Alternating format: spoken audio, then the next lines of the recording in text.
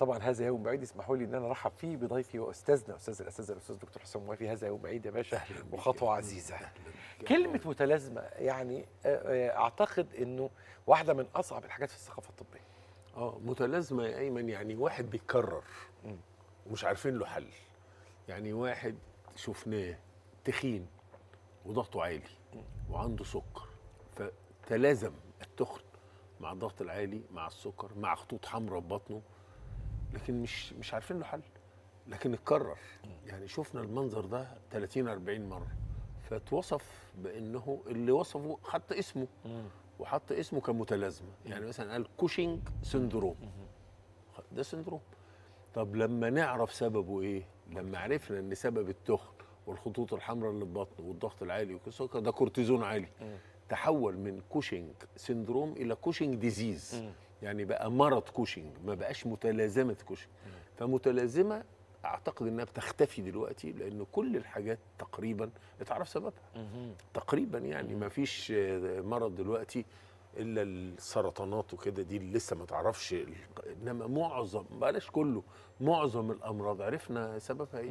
فاللي إحنا نتكلم فيه النهارده متلازمة. كانت كانت متلازمة. طب بتقولي ليه كانت؟ لأن التورم النفروزي ده عرض وليس مرض. يعني لما أقول فلان عنده nephrotic syndrome اللي هو التورم متلازمة التورم النفروزي. ليه عرض؟ لأن في مليون حاجة بتعمله. يعني أكثر من مرض ممكن يسبب هذا المرض. عشان كده هو لا زال لا زال متلازمة لا زال syndrome. لماذا؟ مش لأن ما عرفناش السبب لأن أكتر من حاجة بتعمله. عايز الأمور تبقى واضحة إن ده زي واحد عنده صداع. هل لما أقول فلان أنت عندك صداع أنا شخصته؟ اطلاقا جايز يكون ورم في المخ جايز يكون ضغط عالي جايز يكون اعصابه. تعبانة جايز أي حاجة. كده. آه فهو التورم النفروزي ك syndrome أو كمتلازمة له أكثر من سبب وبالتالي ما زال syndrome.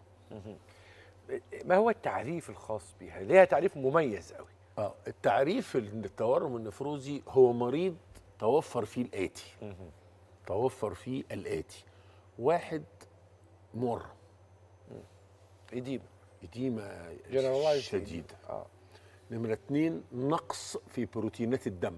hypoproteinemia نمرة ثلاثة وجود زلال في البول. proteinuria proteinur أربعة ليست شرط في التشخيص. إن وجدت شخصنا. وإن لم توجد شخصنا برضه. وهو إن خلل في الدهون الدم كوليسترول والدهون الثلاثية.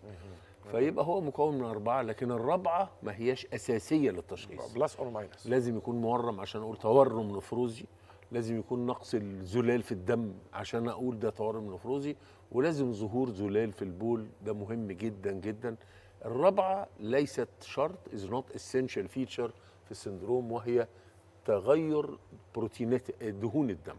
سواء الكوليسترول أو الدهون الثلاثية. هو السؤال اللي بيطرح نفسه كيف يحدث التورم في هذه الحالة؟ mechanism التورم إيه أساسا؟ آه mechanism التورم عايز يعني إيه الناس تركز معايا كويس جدا يعني.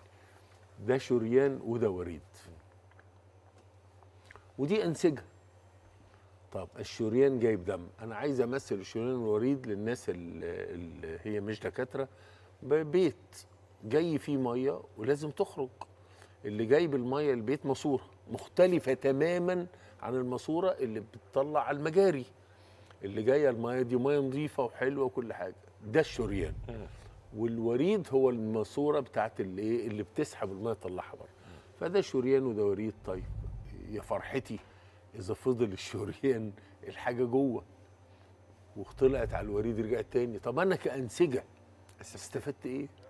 فلازم محلول أو سائل. من ناحية الشريان يطلع.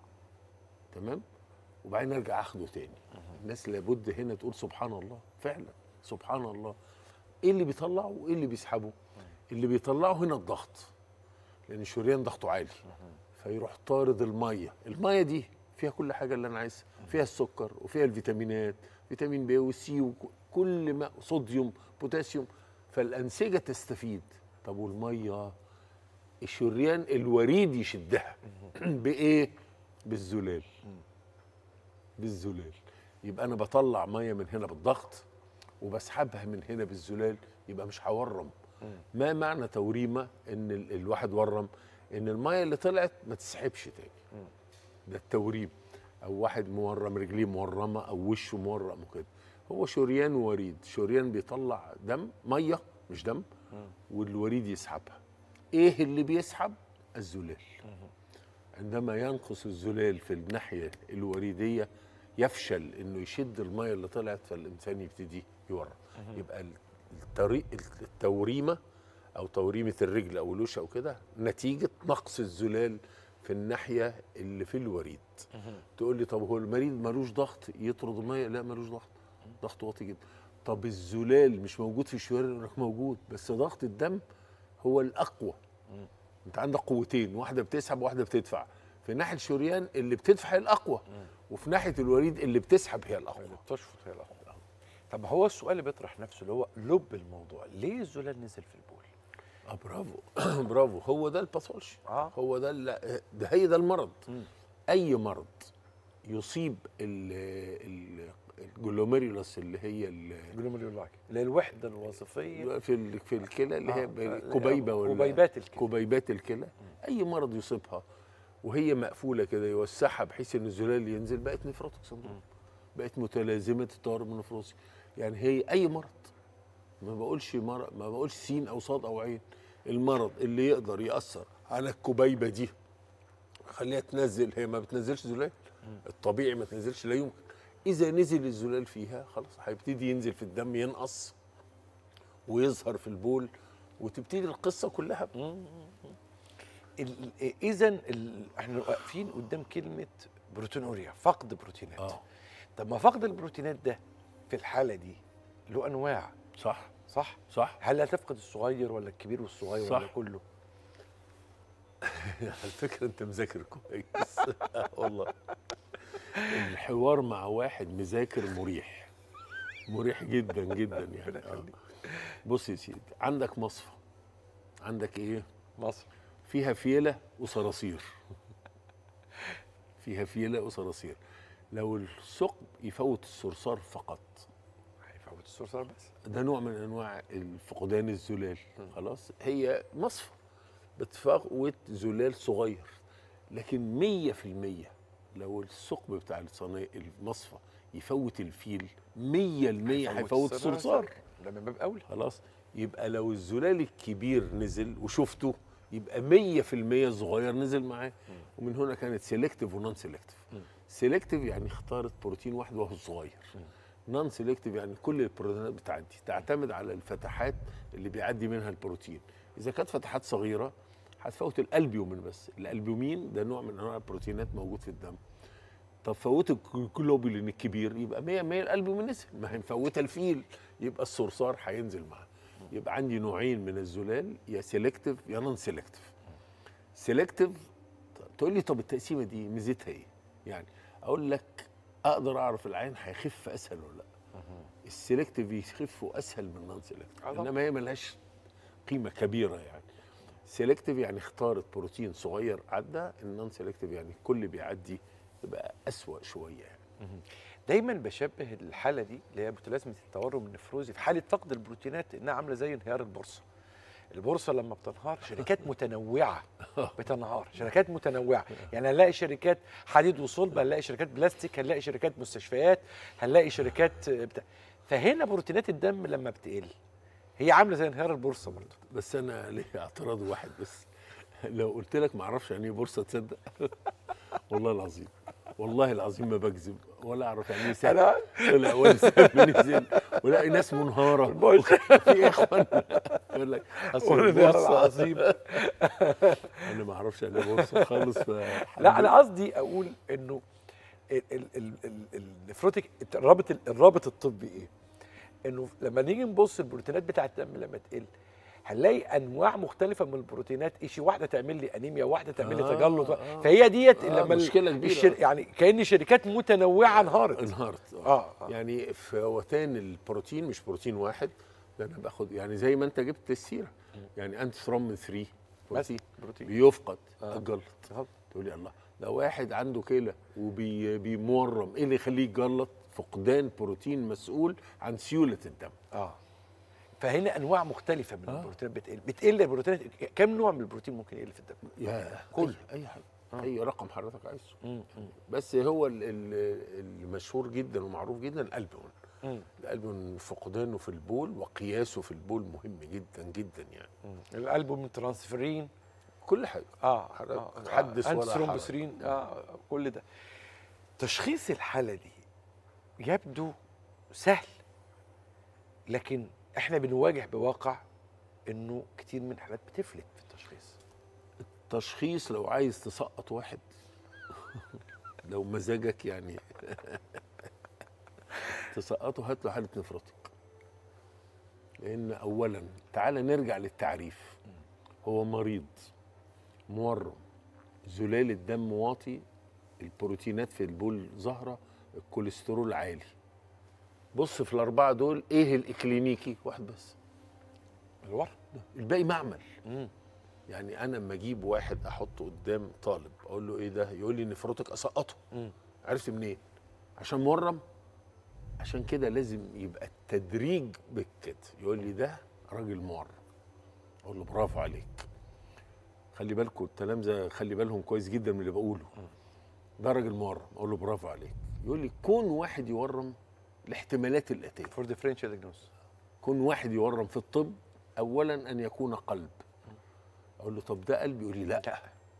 ال neck veins مش congested وعشان يورم يبقى جهه اليمنى يبقى رجليه مورمة وبطنه وال neck veins congested والكبد محتقن يقول لي كل ده مش موجود. أقول له برافو عليك. اذا المريض ده مش قلب. هو مورم بس مش قلب. يقول لي صح. يقول لي تاني واحد يورم الكلى. الكبد. المتأسف الكبد. طيب الكبد لما يورم بيعمل استسقاء. ده مش. كده. ده مش كده. ده رجليه ووشه اللي مورمين مش استسقاء. الكبد عشان يورم لازم يكون الكبد فشل. يبقى عندي صفرة. يبقى عندي نقط حمراء spider naevi ريحة بقي مختلفة. وده مش كده. أقول له برافو عليك. عشان يورم ممكن nutrition واحد ما بياكلش. واحد ما بياكلش. آه هو شرك وكل علامه بس هنا بقى في نقطة يعني تضحك شوية. زمان كنت أقول له طب ما ده يقول لي لا يا ابني ده لا يمكن يكون nutritional لا يمكن يكون من سوء التغذية. أصله دكتور. دلوقتي العكس يقول لي ده أصله مثلا بيشتغل ميكانيكي سيارات. يبقى لا يمكن يكون عنده نقص تغذية. فيبقى نمرة ثلاثة اللي يورم نقص التغذية. أني تغذية البروتينات. مش أي نقص تغذية لو نقص تغذية شديد جدا بتنقص البروتينات ما أنا كل القصة عايز بروتينات الدم تنقص في القلب الضغط الوريدي زاد فورم. في الكبد البروتينات نقصت لأن اللي بيعمل قلبه من الكبد في النقص الغذاء ما بياكلش ما بياكلش بروتينات. أو أن يكون كلى هو ماشي بالترتيب. يبقى ده له كبد ولا قلب ولا نقص غذاء. طب ده كلى كلى يورم في حالتين لا ثالث له يعني nephritic يا nephrotic. بس ال nephritic ورم قليل ضغطه عالي. neck veins congested. ال nephrotic ضغط طق عادة normal مورم زيادة و neck veins فاضية ما عدا في حالتين حابب أقول أدي الوصول للتشخيص كده. إنما اللي يحط لي عيان وعرف إن nephrotic فجاي يسأله أنا في الامتحان العيان ده يقول لي nephrotic سقطه ده ثلاث أرباع التشخيص معمل. يقول لي طب أم- لما يقول لي آه ده غالبا غالبا Suggestive. أقول له بقى ابعت عينه بول ابعت عينه دم نشوفها إنما ممنوع اطلاقا إن يخش في التشخيص مرة واحدة كده تبقى مشكلة كبيرة يعني. ده ده التشخيص الإكلينيكي. آه. كيفية التشخيص كيفية التشخيص العلمي. آه. استبعاد آه. القلب كسبب للورم استبعاد الكبد كسبب للورم استبعاد ال- الغذاء سبب للورم مهم جدا. والمحصور في الكلى. الكلى تورم بطريقتين لا ثالث له. يا إما هيبقى واحد nephritic اللي هو هنتكلم عليه إن شاء الله في حلقة خاصة أو nephrotic اللي هو التورم النفروسي ده ورم بسيط وضغط عالي واورده محتقنة. ده ورم كثير ضغط تقريبا مش عالي قوي واورده فاضية ما عدا في حالتين هقول إيه الأسباب اللي تعمل كتير. آه، حدث السكر. بقى. الس- السكر أحد طبعا. الأسباب المهمة جدا جدا. إنما الأهم ال minimal lesion اللي هي التغيرات البسيطة في في الكبيبة. الكبيبة. بتعمل بتخلي البروتين ينزل وتعمل هذا المرض السخيف. آه minimal lesion glomerulonephritis و membranous membranous نوع. برضو آه. تاني. ال amyloid amyloid مثلا. آه. آه. آه، السكر. آه. دايبيتس السكر بيعمل إزاي مهم قوي يعني. عشان برضو في تنافس دلوقتي بين شركات الأدوية مين اللي هيجيب لنا الدواء اللي أنا هتكلم عليه ده؟ أنا عندي الكبيبة شريان داخل كبير واسع وضيق فعمل ضغط عالي. فمعروف إن السكر بيصيب الأوعية الدموية كلها بالتصلب والضيق شرايين القلب تصاب بتصلب وضيق في السكر أسرع من أي حد تاني. شرايين المخ تصاب بضيق وتص- وتصلب. أسرع في السكر الرجلين. والكلى طب هما اتنين بيصيب مين؟ بيصيب اللي طالع طالع فيزود الضيق. فالضغط الكبيبه يزيد تقول لي طب ما ده نعمة. أقول لك لا أما يزيد قوي هينزل بروتين معاه فده آه، في السكر. ليه شركات الادويه بتتنافس مين اللي هيجيب دواء يشتغل على ده وما يشتغلش على ده؟ ما أنا لو اشتغلت توسيع شرايين هوسع الاثنين. هيبقى ده وسع وده وسع. أنا عايز أوسع ده وأسيب ده. عشان الضغط يعود تاني لما كان عليه في الكبيبة. فده من الحاجات. عشان كده مريض السكر من ال- التحاليل اللازمة اللازمة يعملها. زلال في البول. بانتظام. ليه؟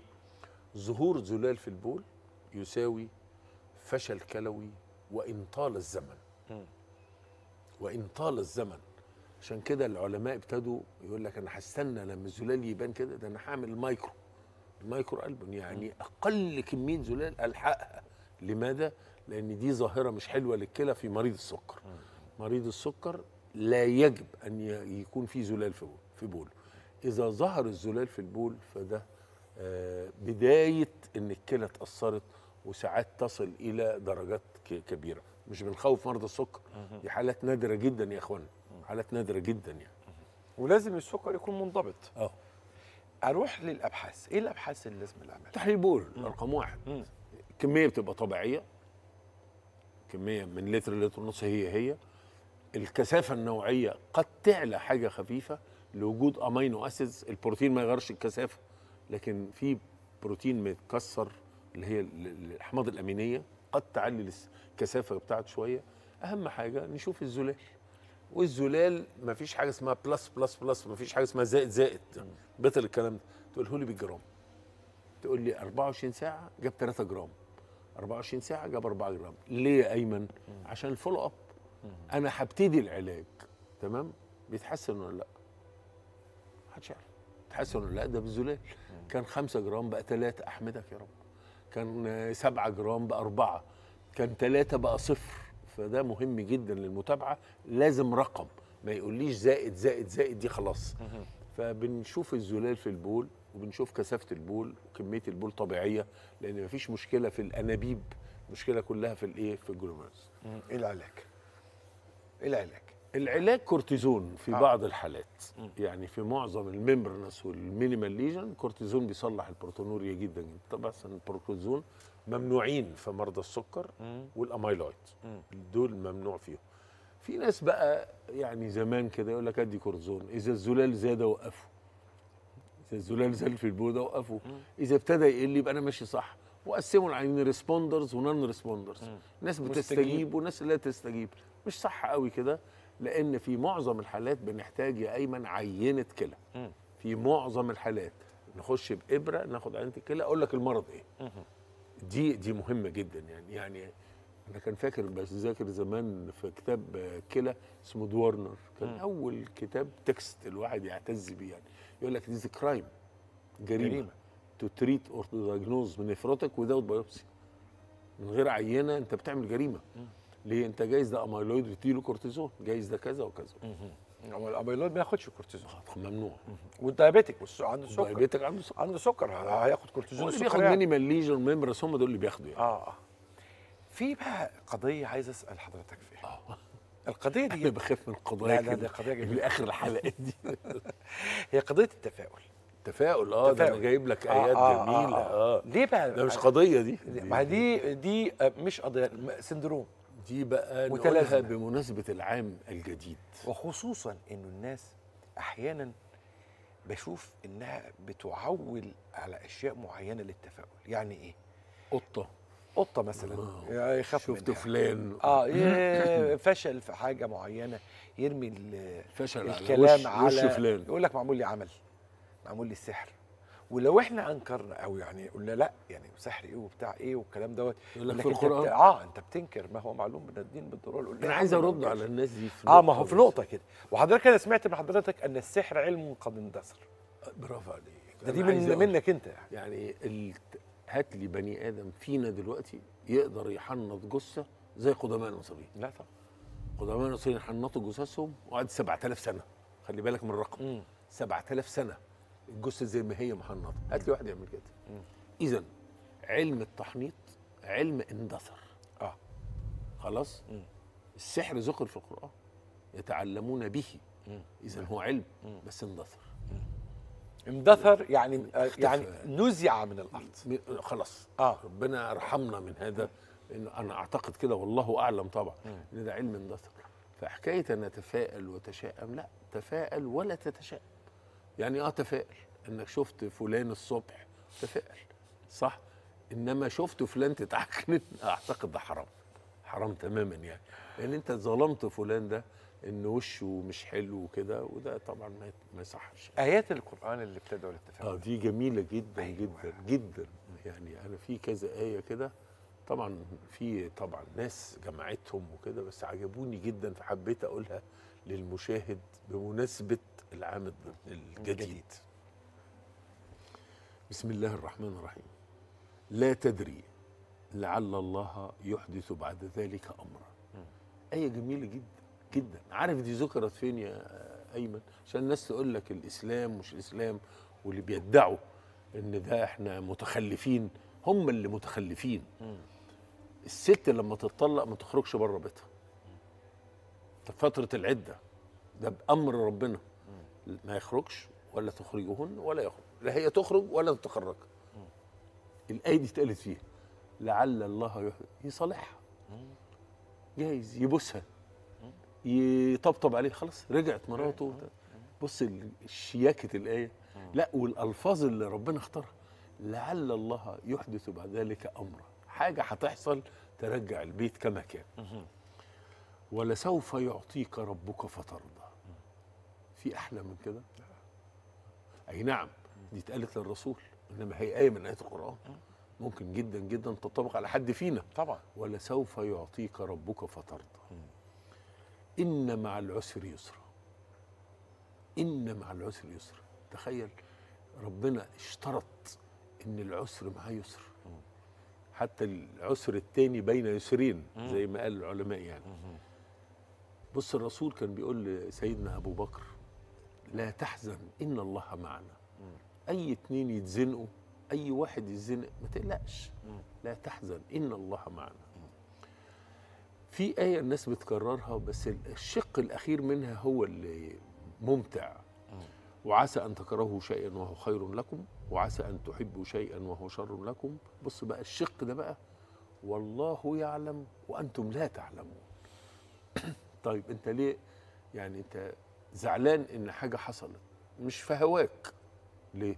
ما أنت ما تعرفش. ما أنت ما تعرفش. الله يعلم. دي أحلى حتة في الآية. والله يعلم. وأنتم لا تعلمون. لأن هو هي الجزء الأول والثاني في الآية ده جزء إحنا بنشوفه. آه. وعسى أن تكرهوا وعسى أن. تحبوا يعني لكن دي بقى لكن هو ده الجزء اللي إحنا ما نعرفوش. سر بقى. ده السر. الله يعلم. وأنتم وأنتم لا تعلمون. لا وفي المطلق. والله يعلم يعني هو الوحيد آه، العالم. وأنتم لا تعلمون في المطلق. في المطلق. آه. آه ما تعلموش حاجة. واصبر لحكم ربك فإنك بأعيننا. شوف بتقال للرسول أنت يعني أنت في عيني. في أحلى من كده. يمكن ربنا يوعدنا بهذه الكلمة في أي آه، مثلا حاجة نتزنق فيها. قال وقال ربكم ادعوني أستجب لكم. اذا يعني ال ال ده زي أنا بقول لواحد طب قول لي بس أنا هعمل لك اللي أنت عايزه بس قول لي. يعني أنت اطلب وأنا هعمل لك وقال ربكم استووا ده هو اللي بيطلب مننا يا إخوان. وقال ربكم ادعوني وفي اللغة أستجب العربية لكم. كمان في جمال قوي هنا في ال- ادعوني أستجب. يعني لا في حرف ولا في كلمة. يعني ما, فيش ادعوني ما كان ممكن تت يعني الناس تقول إيه تفكر كده. لا، ادعوني لك حاجة. فسوف أستجب. لا. ما فيش فسوف. لا، مفيش فأستجب لكم. ما فيش الفاء. ادعوني و ولا سأ وما فيش. الاستجابة جاهزة. وأستجب. لا ده ادعوني أستجب. يعني بص يا إيمن هقول لك حاجة جميلة لبعض الناس اللي هم برضو بينحرفوا شوية كده. ربنا سبحانه وتعالى تعالى كرر يسألونك أكثر من يسألونك عن المحيض قل هو اذن خلي بالك من قل. يسألونك عن أهلة. قل هي مواقيت للناس. يسألونك عن الروح. قل الروح كل يسألونك بعدها قل اتفقنا؟ 14 مره ما عدا واحدة. وإذا سألك عبادي عني عني فإني. مفيش قل. آه. مفيش قل قل. فإني يعني مفيش حد واسطة بيني وبين آه. ربنا. إذا سالك فإني قريب أجيب والفاء فاء التعقيب اللي هو على طول. في الحال. آه في الحال. آه. أمن يجيب المضطر إذا دعاه ويكشف السوء. في أحلى من كده يا إخوانا. المضطر إذا دعا مضطر إذا آه. بس خليك مضطر وادعي وأنت حد آه. إن الله على كل شيء قدير. يعني مفيش حاجة تعجزه. ما تقولش لأ. مفي زي ما العام يقول لك مفيش حاجة كبيرة على ربنا. مم. وهو علي هين. وهو علي هين. وألف بين قلوبهم. لو أنفقت ما في الأرض جميعا ما ألفت بين قلوبهم ولكن الله ألف بينهم إنه عزيز حكيم. ممكن جدا جدا الناس في خلاف شديد جدا وربنا اللي هيقلب بينهم. لا صلح ولا مجلس ولا أي حاجة. وربنا قادر على هذا. هي دي ذكرت بين ال ال ال ال ال ال الأنصار والمهاجرين. يا سلام. آه دي بينهم. تخيل تصل ال- كان بينهم وبين بعض خلافات قبلية لا قريبه انت تخيل انك ناس داخلين عليك. آه. أهل المدينة في ناس داخلين عليهم. تصل بالرسول عليه الصلاة والسلام الروعة والحكمة إن يخلي المهاجر الأنصاري يعرض عليه زوجته يقول له اختار واحدة طلقها لك. مين. يعمل كده؟ غير ألف بين قلوبهم فعلا لأن لو لو كان اتصرف اللي على الأرض كله ده ربنا اللي عملها مش أي حد. وعسى أن تكرهوا شيئا ويجعل الله فيه خيرا كثيرا. جايز أنت تكره دي وتلاقي الخير كله فيها. والايه دي فيها إعجاز في كلمة كثيرة. كثيرا. يعني أنت كرهتها يعني أنت كاره. آه. عايز أن تكره طبعاً. ده أنت كاره. و- ويجي فيها مش خير. يجي فيها خير كتير, كتير كمان. يعني شو عشان تعرف إن إحنا ما نعرفش حاجة خالص. ولا تيأسوا من روح الله إنه لا يأس من روح الله إلا القوم الكافرون. تخيل أنت لو يأست حطك مع الكفرة. لو يأست حطك مع الكفرة ربنا سبحان الله. فهذا جميل. قل يا عبادي الذين أسرفوا على أنفسهم لا تقنطوا من رحمة الله. تخيل بقى أسرفوا على أنفسهم. أسرفوا. يعني أنت عملت اللي ما يعمل. لا تقنطوا من رحمة الله. إن فص- الله يغفر الذنوب جميعا. إنه هو الغفور الرحيم. دي دي بقى يعني آه، دي هتكون آخر آية النهارده هنتكلم فيها. في واحدة فصبر جميل والله, المستعان على ما تصفون. لما سيدنا يوسف اختفى عن أبوه فصبر نفسه. قال فصبر جميل والله المستعان على ما تصفون. بيقول لأولاده التانيين هو عارف إن حصل حاجة مش حلوة يعني. بس يعني شوية آيات ما شاء الله ما شاء الله. بس المهم تخش في قلبنا ونعمل بيها يعني. مفيش واحد ما بيغلطش. مفيش واحد ما بيغلطش خالص. يعني خالص.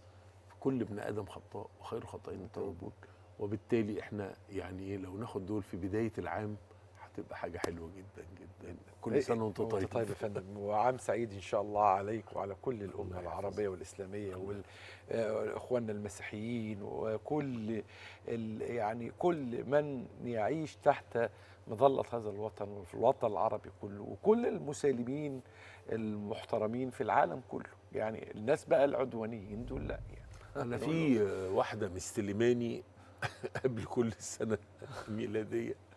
أنا يا دكتور حسام بحبك وبموت فيك. طب يا ستي حبيني وموت فيا وخايفة عليك من جهنم. فبقول لها ليه؟ تقول لي اوعى تقول لي مسيحي كل سنة وأنت لا طيب. لا لا لا والله ده- دي العظيم. واحدة واحدة من ال... غبية. لا من إياهم آه يعني. آه كل سنة أقول لها نفس الإجابة. أقول لها طب أنا ربنا إداني حاجتين. استغفر الله. سامح لي. بيهم. اولا أحل لكم طعام أهل الكتاب. تمام؟ إزاي اكل في بيته. افرض عازمني يوم سبعة. آه.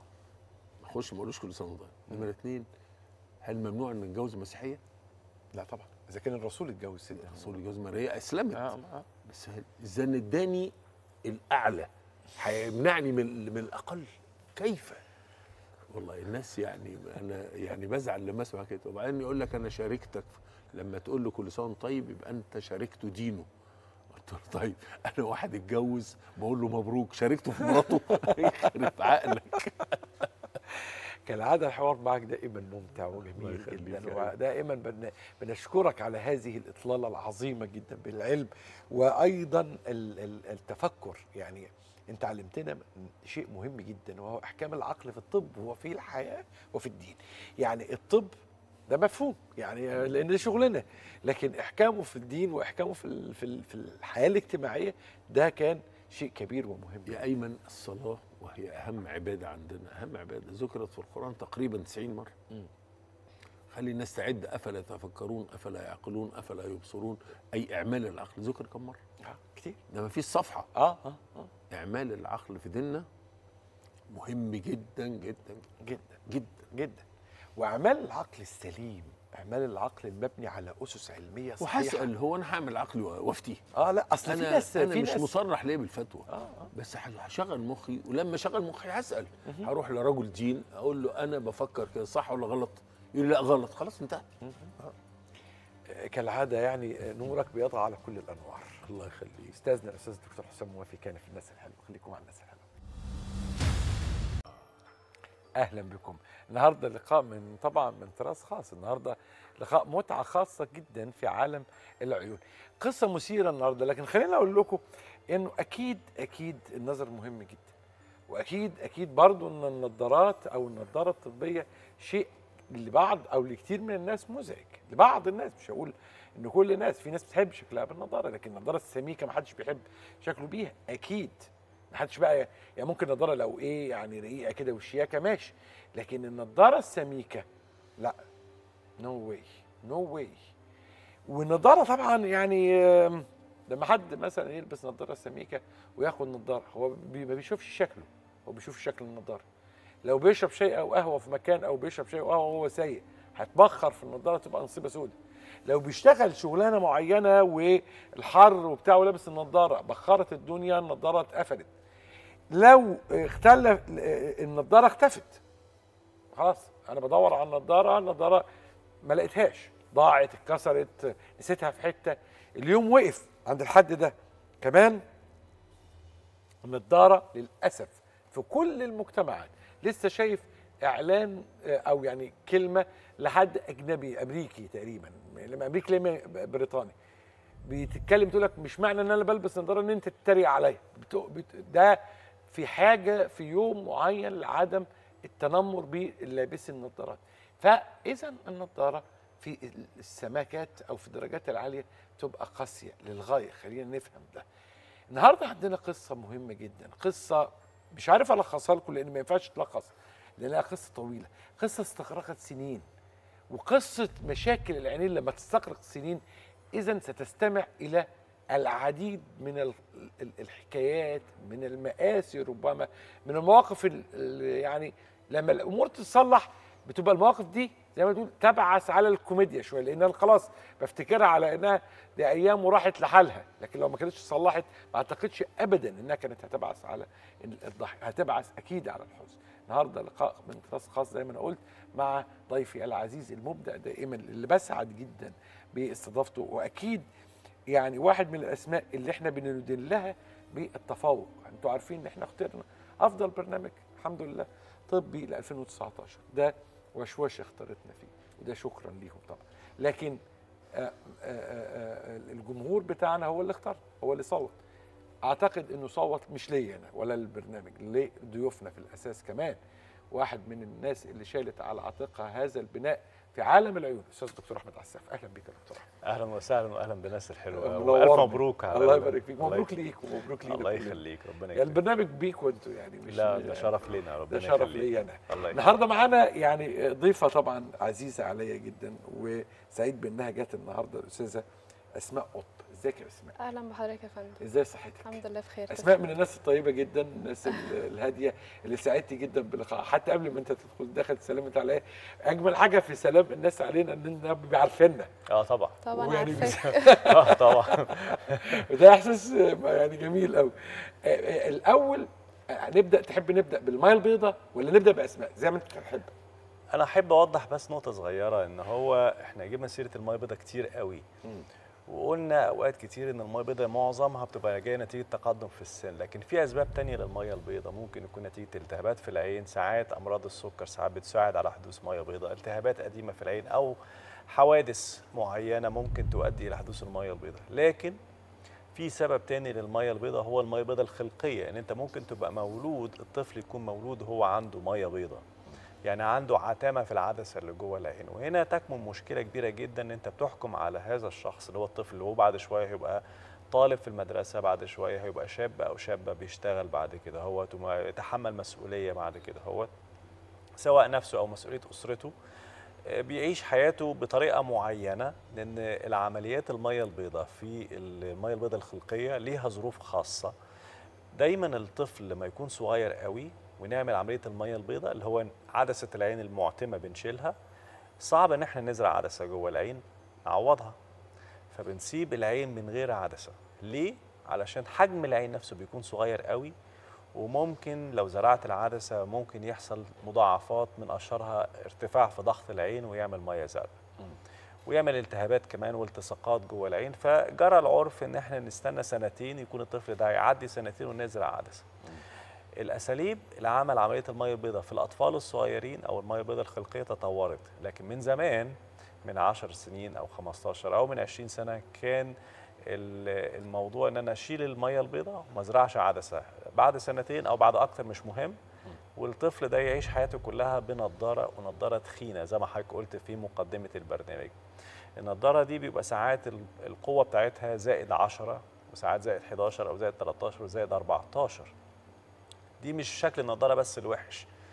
اعتماد الطفل أو الشاب على النضارة دي بيبقى تقريبا 110% مش هنقول 100% مليون في المية. يعني من غير النضارة لا شايف لا بعيد ولا شايف قريب. على عكس حتى الناس اللي عندهم قصر نظر. القصر النظر عنده ميزة اللي هو سالب 10 مثلا عنده ميزة لو من غير نضارة ممكن يقرب الحاجة من وشه أو من عينيه على مسافة كام سنتي يعرف يشوف. اللي زائد 10 أو زائد أو أكتر ما بيشوفش لا قريب ولا بيشوف بعيد. وشكل النضارة مش حلو وبيدي عدم ثقة في النفس وبيخلي حياتك كلها مرتبطة بالنضارة دي. النضارة دي في يوم لو اتكسرت أو ضاعت منك حياتك هتنقلب راسا على أو اليوم نفسه هينقلب راسا على عقب لما بتيجي تسافر بتسافر معاك النضارة اللي أنت لابسها ومعاك نضارة تانية احتياطي في الشنطة. آه، ممكن آه، غير إن حضرتك قلت مثلا آه، ممكن سخرية الزملاء في خاصة في المدرسة ممكن يبقى فيها نوع من أنواع السخرية مثلا آه، ممكن حتى ممارسة الرياضة ممكن ممارسة الحياة العادية لأي طفل وشاب هيبقى صعب جدا في وجود النضارة. ممكن نستعيد عن النضارة دي بعدسه لاصقه لكن للأسف في المقاسات العالية اللي هي بالموجب بتبقى العدسات اللاصقه كمان مش مريحة لأن العدسة اللاصقه بتكون تخينة وبتضايق المريض جدا وبتحمر العين بتعمله شكشكة والتهابات متكررة. هنا تكمن المشكلة إن في طفل بيتولد يع- يعني بيوعى على الدنيا بنضارة وبيلاقي نفسه مختلف عن بقية الناس اللي حواليه ومش عارف ليه. ومش نضارة عادية نضارة بسبب إن كان في مية بيضاء أو كان في عدسة جوه العين اتشالت عشان هي كانت معتمة وما تعوضتش بعدسة ثانية اذا دي ال- ال- المأساة الكونجينيتال آه الخلقيه آه الخلقيه طب ناخد فكرة عن عن حالة يعني اشرح لنا حالة آه، آه، اسماء يعني مش إزاي؟ آه اسمها هي هي هي حالة من الحالات اللي بنشوفها كتير. آه، ناس كتير جدا بيجي لك في سن الشباب ويقول لك أنا آه، لابس نظارة تخينة وعايز حل للموضوع. لما بنيجي نفحص بنكتشف إن العين من غير عدسة. العين نفسها مش مزروع لها عدسة. وبنعرف من الأب والأم إن الطفل ده أو الشاب ده لما اتولد كان عنده مية بيضاء أو كان عندها مية بيضاء خلقية واتعملت العملية وما ما تزرعش عدسة في وقتها. وده صح مش غلط بالمناسبة. عشان وقتها تقنية زرع العدسات ما كانش منتشرة كان تصميم العدسات مش متطور زي دلوقتي. طريقة عمل العملية ما كانش بنحط في دماغنا أو الجراحين ما كانش بيحطوا في دماغهم إنه إحنا هنزرع عدسة في المستقبل أو في القريب العاجل. المهم الطفل ده يبقى شايف كويس مش مشكلة بقى شايف كويس بنضارة ومن غير نضارة دي مش مشكلة. المهم يعيش حياته شايف كويس يلبس نضارة زائد 10 زائد 15 مش مهم. الحالة النفسية هنا بتهمل أو حالة الجانب الاجتماعي كمان بيهمل في حالة زي كده أهو. فهي كانت دلوقتي هي شابة مقبلة على الحياة وعايزة تشوف حل للقصة دي. هل اعتماد على النضارة دي يعني تقدر تستغنى عنها أو حتى في ادق الحدود نقلل الاعتماد على النضارة دي شوية؟ ممكن أخرج من غير نضارة ممكن آه، حتى لو لبست نضارة بعد العملية مثلا أو عملنا أي إجراء تلبس نضارة حتى لو نضارة صغيرة مقاس صغير. يبقى مقاس طبيعي زي أي حد تاني ماشي في الشارع. هل في إمكانية حاله زي كده ولا لأ؟ هو ده كان الطلب بتاعها. ده ده ده خلق الحالة جت بدأت تكشف عليها. آه هي كشفت عليها كان هي دلوقتي معمول لها من تاريخ المرضي من الأسرة إن الأب والأم قالوا إن البنت دي فعلا اتولدت وكان عندها مية بيضاء خلقيه واتعمل عملية.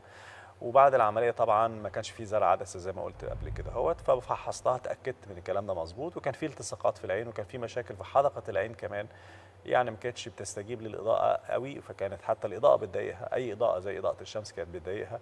الالتصاقات دي كانت رافعة ضغط العين كمان وبتأثر على كفاءة العصب البصري. فالحاله كان مضاعفة شوية مش مجرد إن ما فيش عدسة جوه العين لكن في مشاكل كمان في من العملية القديمة قبل كده.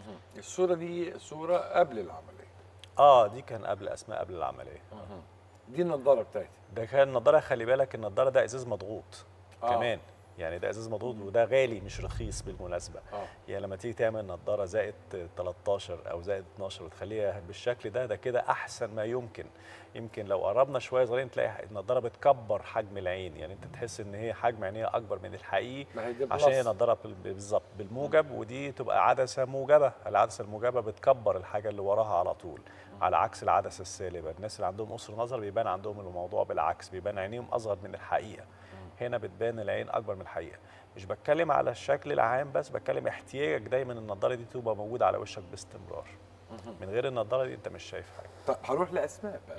إحنا إحنا دلوقتي ما قبل إحنا ما زلنا في البدايات إيه اللي, اللي تعرفيه عن اللي اتعمل لك وأنت عندك سنتين أو قبل سنتين يعني؟ حد أكيد بابا وماما قالوا لك يعني. قالوا لي هي مامتي قالت لي إن أنا بدأت ألبس النضارة من وأنا بدأت وانت كانت- بتزحفي آه كانت عاملة لي سنتين. آه كانت عاملة لي نضارة وحاطة فيها بتاع كده عشان لما اسحف ما تقعش. تبقى آه. نضارة خاصة بيبقى خاصة. ليها. أستك تقريبا آه. برباط آه ب- ب- ب- كانت في- بتاعت أطفال. بالظبط. آه بعد كده بقى لما كبرت آه لما ك- لما أصحى من النوم على طول النضارة. أول ما أفتح عيني النضارة على طول قبل ما حتى أفكر أروح أغسل وشي أو أعمل أي حاجة. آه لازم ألبس النضارة على طول. حصل لي طبعا مواقف كتير في المدرسة زي مثلا في مرة آه النضاره اتكسرت وأنا في الجاردن يعني وما كملتش اليوم. خليتهم يكلموا ماما تيجي تاخدني عشان مش عارفة أكمل اليوم طبعا مش شايفة أي حاجة قدامي. فكان الموضوع صعب. صغيرة مش شايفة. لا وفي ده حاجة غير بقى تانية. التنمر هي قالت يعني. حاجة مهمة قوي إن هي خلت حد يجي يكلمني يجي ياخدني. آه. يعني هي من غير النضارة مش هتبقى حتى تعرف تروح البيت أنا لوحديها حتى عيطت ساعتها يعني مش شايفة قدامي يا جماعة. مشكلة. انت عارفة انت عارفة ان انت من غير نظاره ما بتشوفيش. آه. كنت ساعتها. آه بالظبط. آه. آه، غير بقى كلام الاصحاب وحتى من المدرسين نفسهم. كانوا في تنمر كده إيه ده انت عينك كبيرة بالنضارة. طب ليه ما تقلعهاش؟ مدرسين؟ آه. وأنا في الثانوي. وانت في ثانوي؟ ده وأنا مدرس ثانوي. آه والله. ده ده ده كلام مهم جدا انه لازم إدارات المدارس تنبه على المدرسين وطبعا الطلبة. بس الطلبة يعني شيء يجي منهم تنمر ده يعني متوقع يعني. ومؤسف. لكن مدرس يجي منه تنمر ده مش متوقع ولا مؤسف دي جريمة. وهو الطالب زميله برضه دي تعتبر جريمة في رأيي لكن ها يعني إحنا لسه ما وصلناش لإن إحنا نمحي التنمر تماما.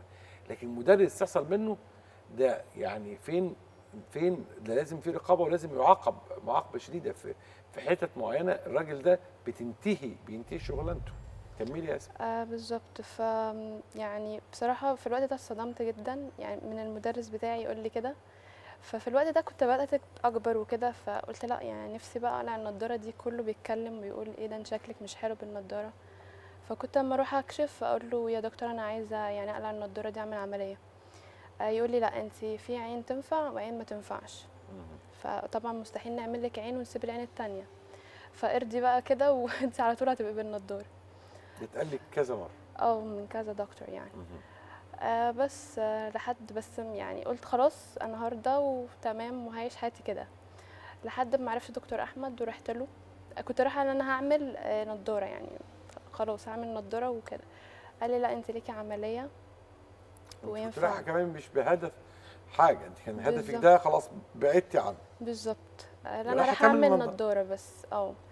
فلما قال لي بقى لا انت ليكي عملية وينفع يتعمل لك عملية فكان بالنسبة لي كده حاجة زي بصيص أمل يعني. آه بس يعني.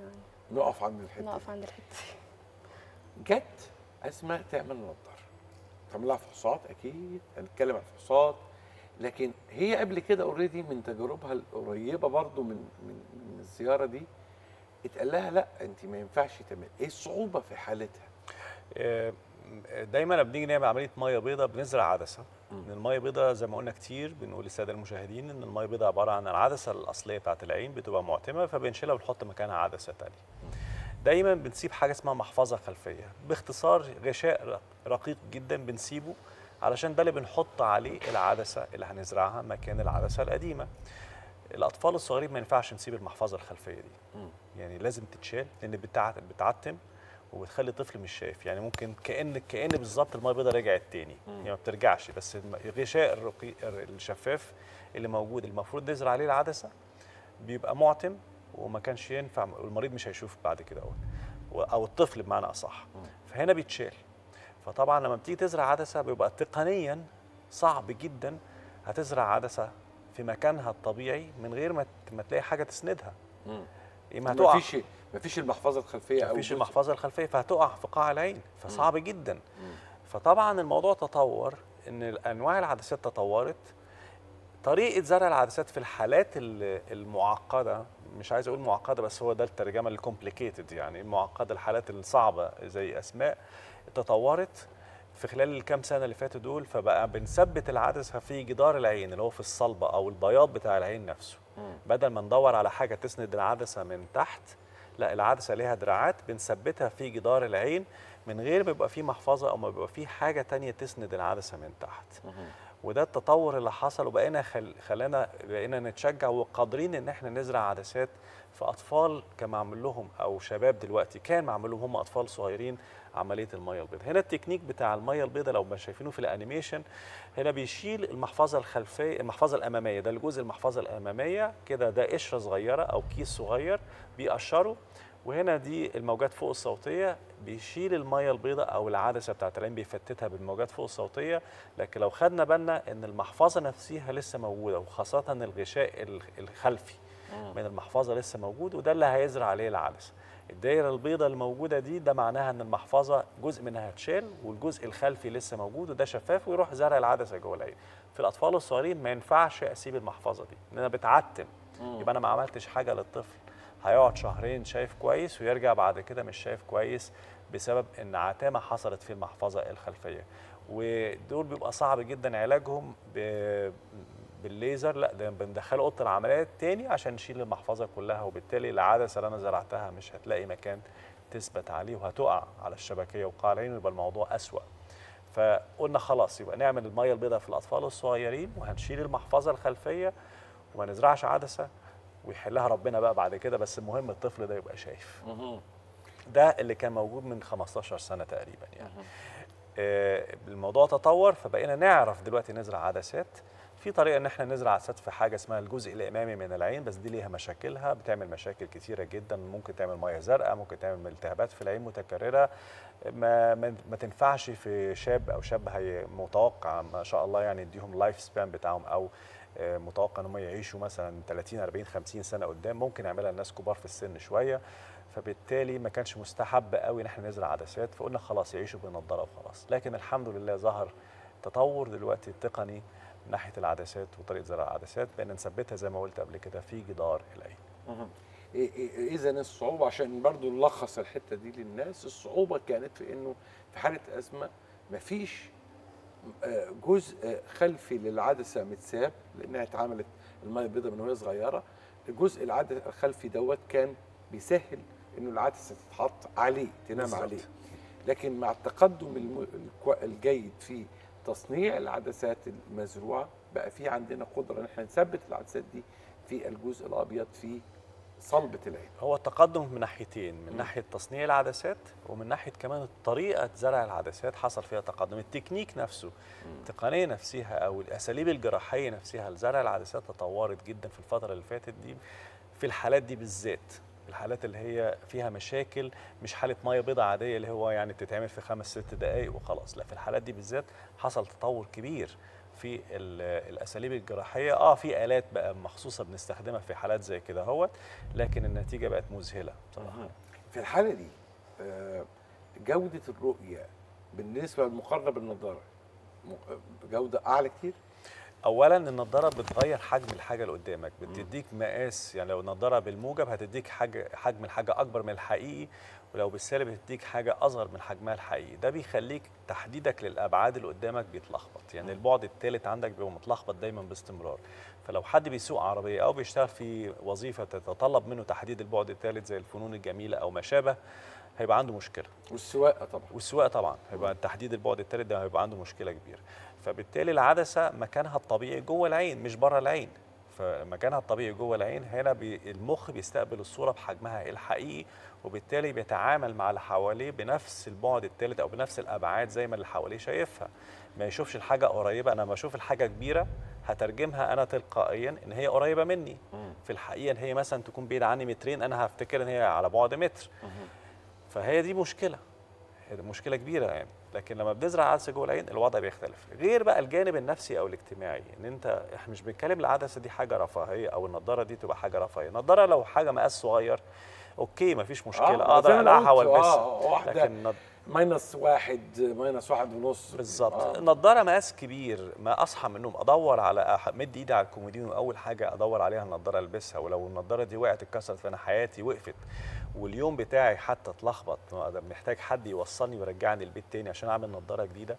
دي طبعا إحساس مش مش لطيف. يعني إحساس إن حياتك كلها معتمد على حاجة زي كده. هو غير طبعا لو حابب يمارس رياضة أو زي ما حضرتك قلت في مقدمة البرنامج البخار بتاع أي سائل أو في الجو البرد مثلا هتلاقي النضاره بتشبر معاك حاجات زي كده هو هتبقى مزعجة شوية صغيرين الجانب النفسي هنا يبقى ليه دور كبير شوية جدا كتير وحياتك شوية كتير قوي هو طبعا بس تشبر وانت سايق ولو في الشتاء كمان كمان داخلين عليه طبعا آه. آه. وفي الصيف كمان لو في الشب... تطلع من التكييف العربية على أي مكان حر آه على طول طبعاً. بتشبر آه. فعلا يعني فهي المشكلة في كده هوت يعني تخيل انت حياتك إحنا مش بنتكلم على واحد عنده 50 60 سنة إحنا بنتكلم على شاب لسه بيبتدي حياته هنا هنا تكمن المشكلة هنا هو دي حد بيبتدي لسه حياته يبتدي حياته معتمد على عكاز مش مش يعني فإحنا هنا بنسميها حتى العملية دي بنسميها visual rehabilitation إن أنا بزرع هي اتعملت المية البيضاء خلاص. بس أنا بحاول بقى أعمل تأهيل إعادة تأهيل بصري للعين اللي اتعمل لها عملية المية البيضاء علشان ترجع تتعامل بشكل طبيعي جدا مع المجتمع. أسماء ق- قررت إن أنت تعملي العملية وده قرار ما كانش سهل. أعتقد. خالص. مش كده؟ جدا يعني. آه، عدد كبير من الدكاترة يقولوا لي آه، ملكيش حل وده يعني حاجة مستحيلة إنها تتعمل لك. وفجأة كده دكتور يقول لي آه، لا أنت ليكي عملية. فكان قرار صعب جدا بس دكتور أحمد بصراحة ساعدني إن أنا آخد القرار يعني. آه، كان شرح لي كل حاجة في أول مرة بالتفصيل. عرفني إيه اللي هيحصل بالظبط في العملية إيه ما بعد العملية.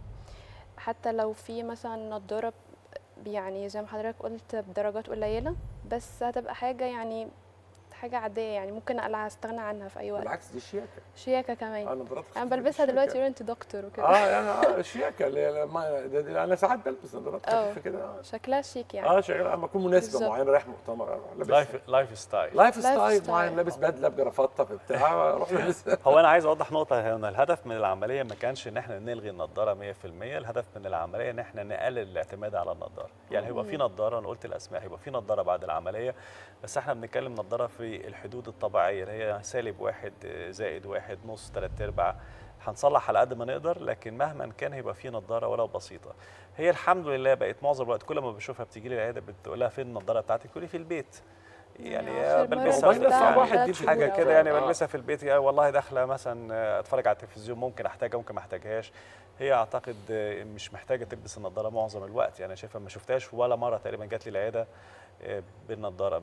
مش هو ده الهدف الأساسي بأكد تاني؟ الهدف الأساسي إن إحنا النضارة أنا بصحى من النوم أدور على الكومودينو فين. النضارة دي؟ مش موجود خلاص أنا بقوم بمارس حياتي بشكل طبيعي. معايا نضارة بلبسها في أوقات معينة. النضارة دي اتكسرت. زي ما هي قاعدة جنبينا دلوقتي إن هو قاعدة من غير نظاره وطالعة من البيت من غير نظاره وبتمارس حياتها بشكل طبيعي بدون نظاره خالص. نورتنا وأسعدتنا كالعادة ويعني النهارده استفدنا استفادة كبيرة جدا. لازم المجتمع الطبي كله يفهم. مش بس المجتمع الطبي الناس اللي عندهم نفس هذه المشكلة والعائلات المصرية تفهم كويس جدا. الثقافة تبدأ من فهمنا إن هناك حل للمشكلة.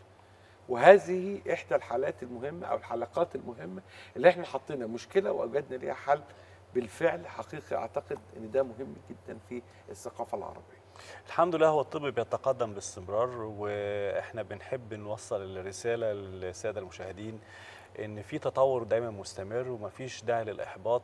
طبعا عايز اكد برضو نقطة صغيرة إن مش كل الحالات بنعرف نتعامل معاها. يعني لو في حد عنده ضمور في العصب البصري على سبيل المثال أو مشاكل في الشبكية دي صعب علاجها حتى هذه اللحظة لكن في أمل في القريب العاجل إن شاء الله عن طريق تطور كبير في أبحاث بتتعمل دلوقتي لل- للحالات اللي زي كده هو لكن آه، جزء كبير من المشاكل كنا بنلاقيها قبل كده ما بنعرفش نلاقي لها حل بقى في حل ولو بنسبة 70% فأعتقد ده بيدينا أمل وبيدينا رسالة إن إحنا نوصلها للسادة المشاهدين إن إحنا نقدر نساعدهم في معظم الأوقات لحل المشاكل بتاعتهم. نورتني وشرفتني الله يخليك ضيفي. العزيز المبدع دائما الأستاذ الدكتور أحمد عساف ضيفتي العزيزة أسماء قط نورتونا وشرفتونا ألف شكر خليكم دايما مع الناس الحلوة.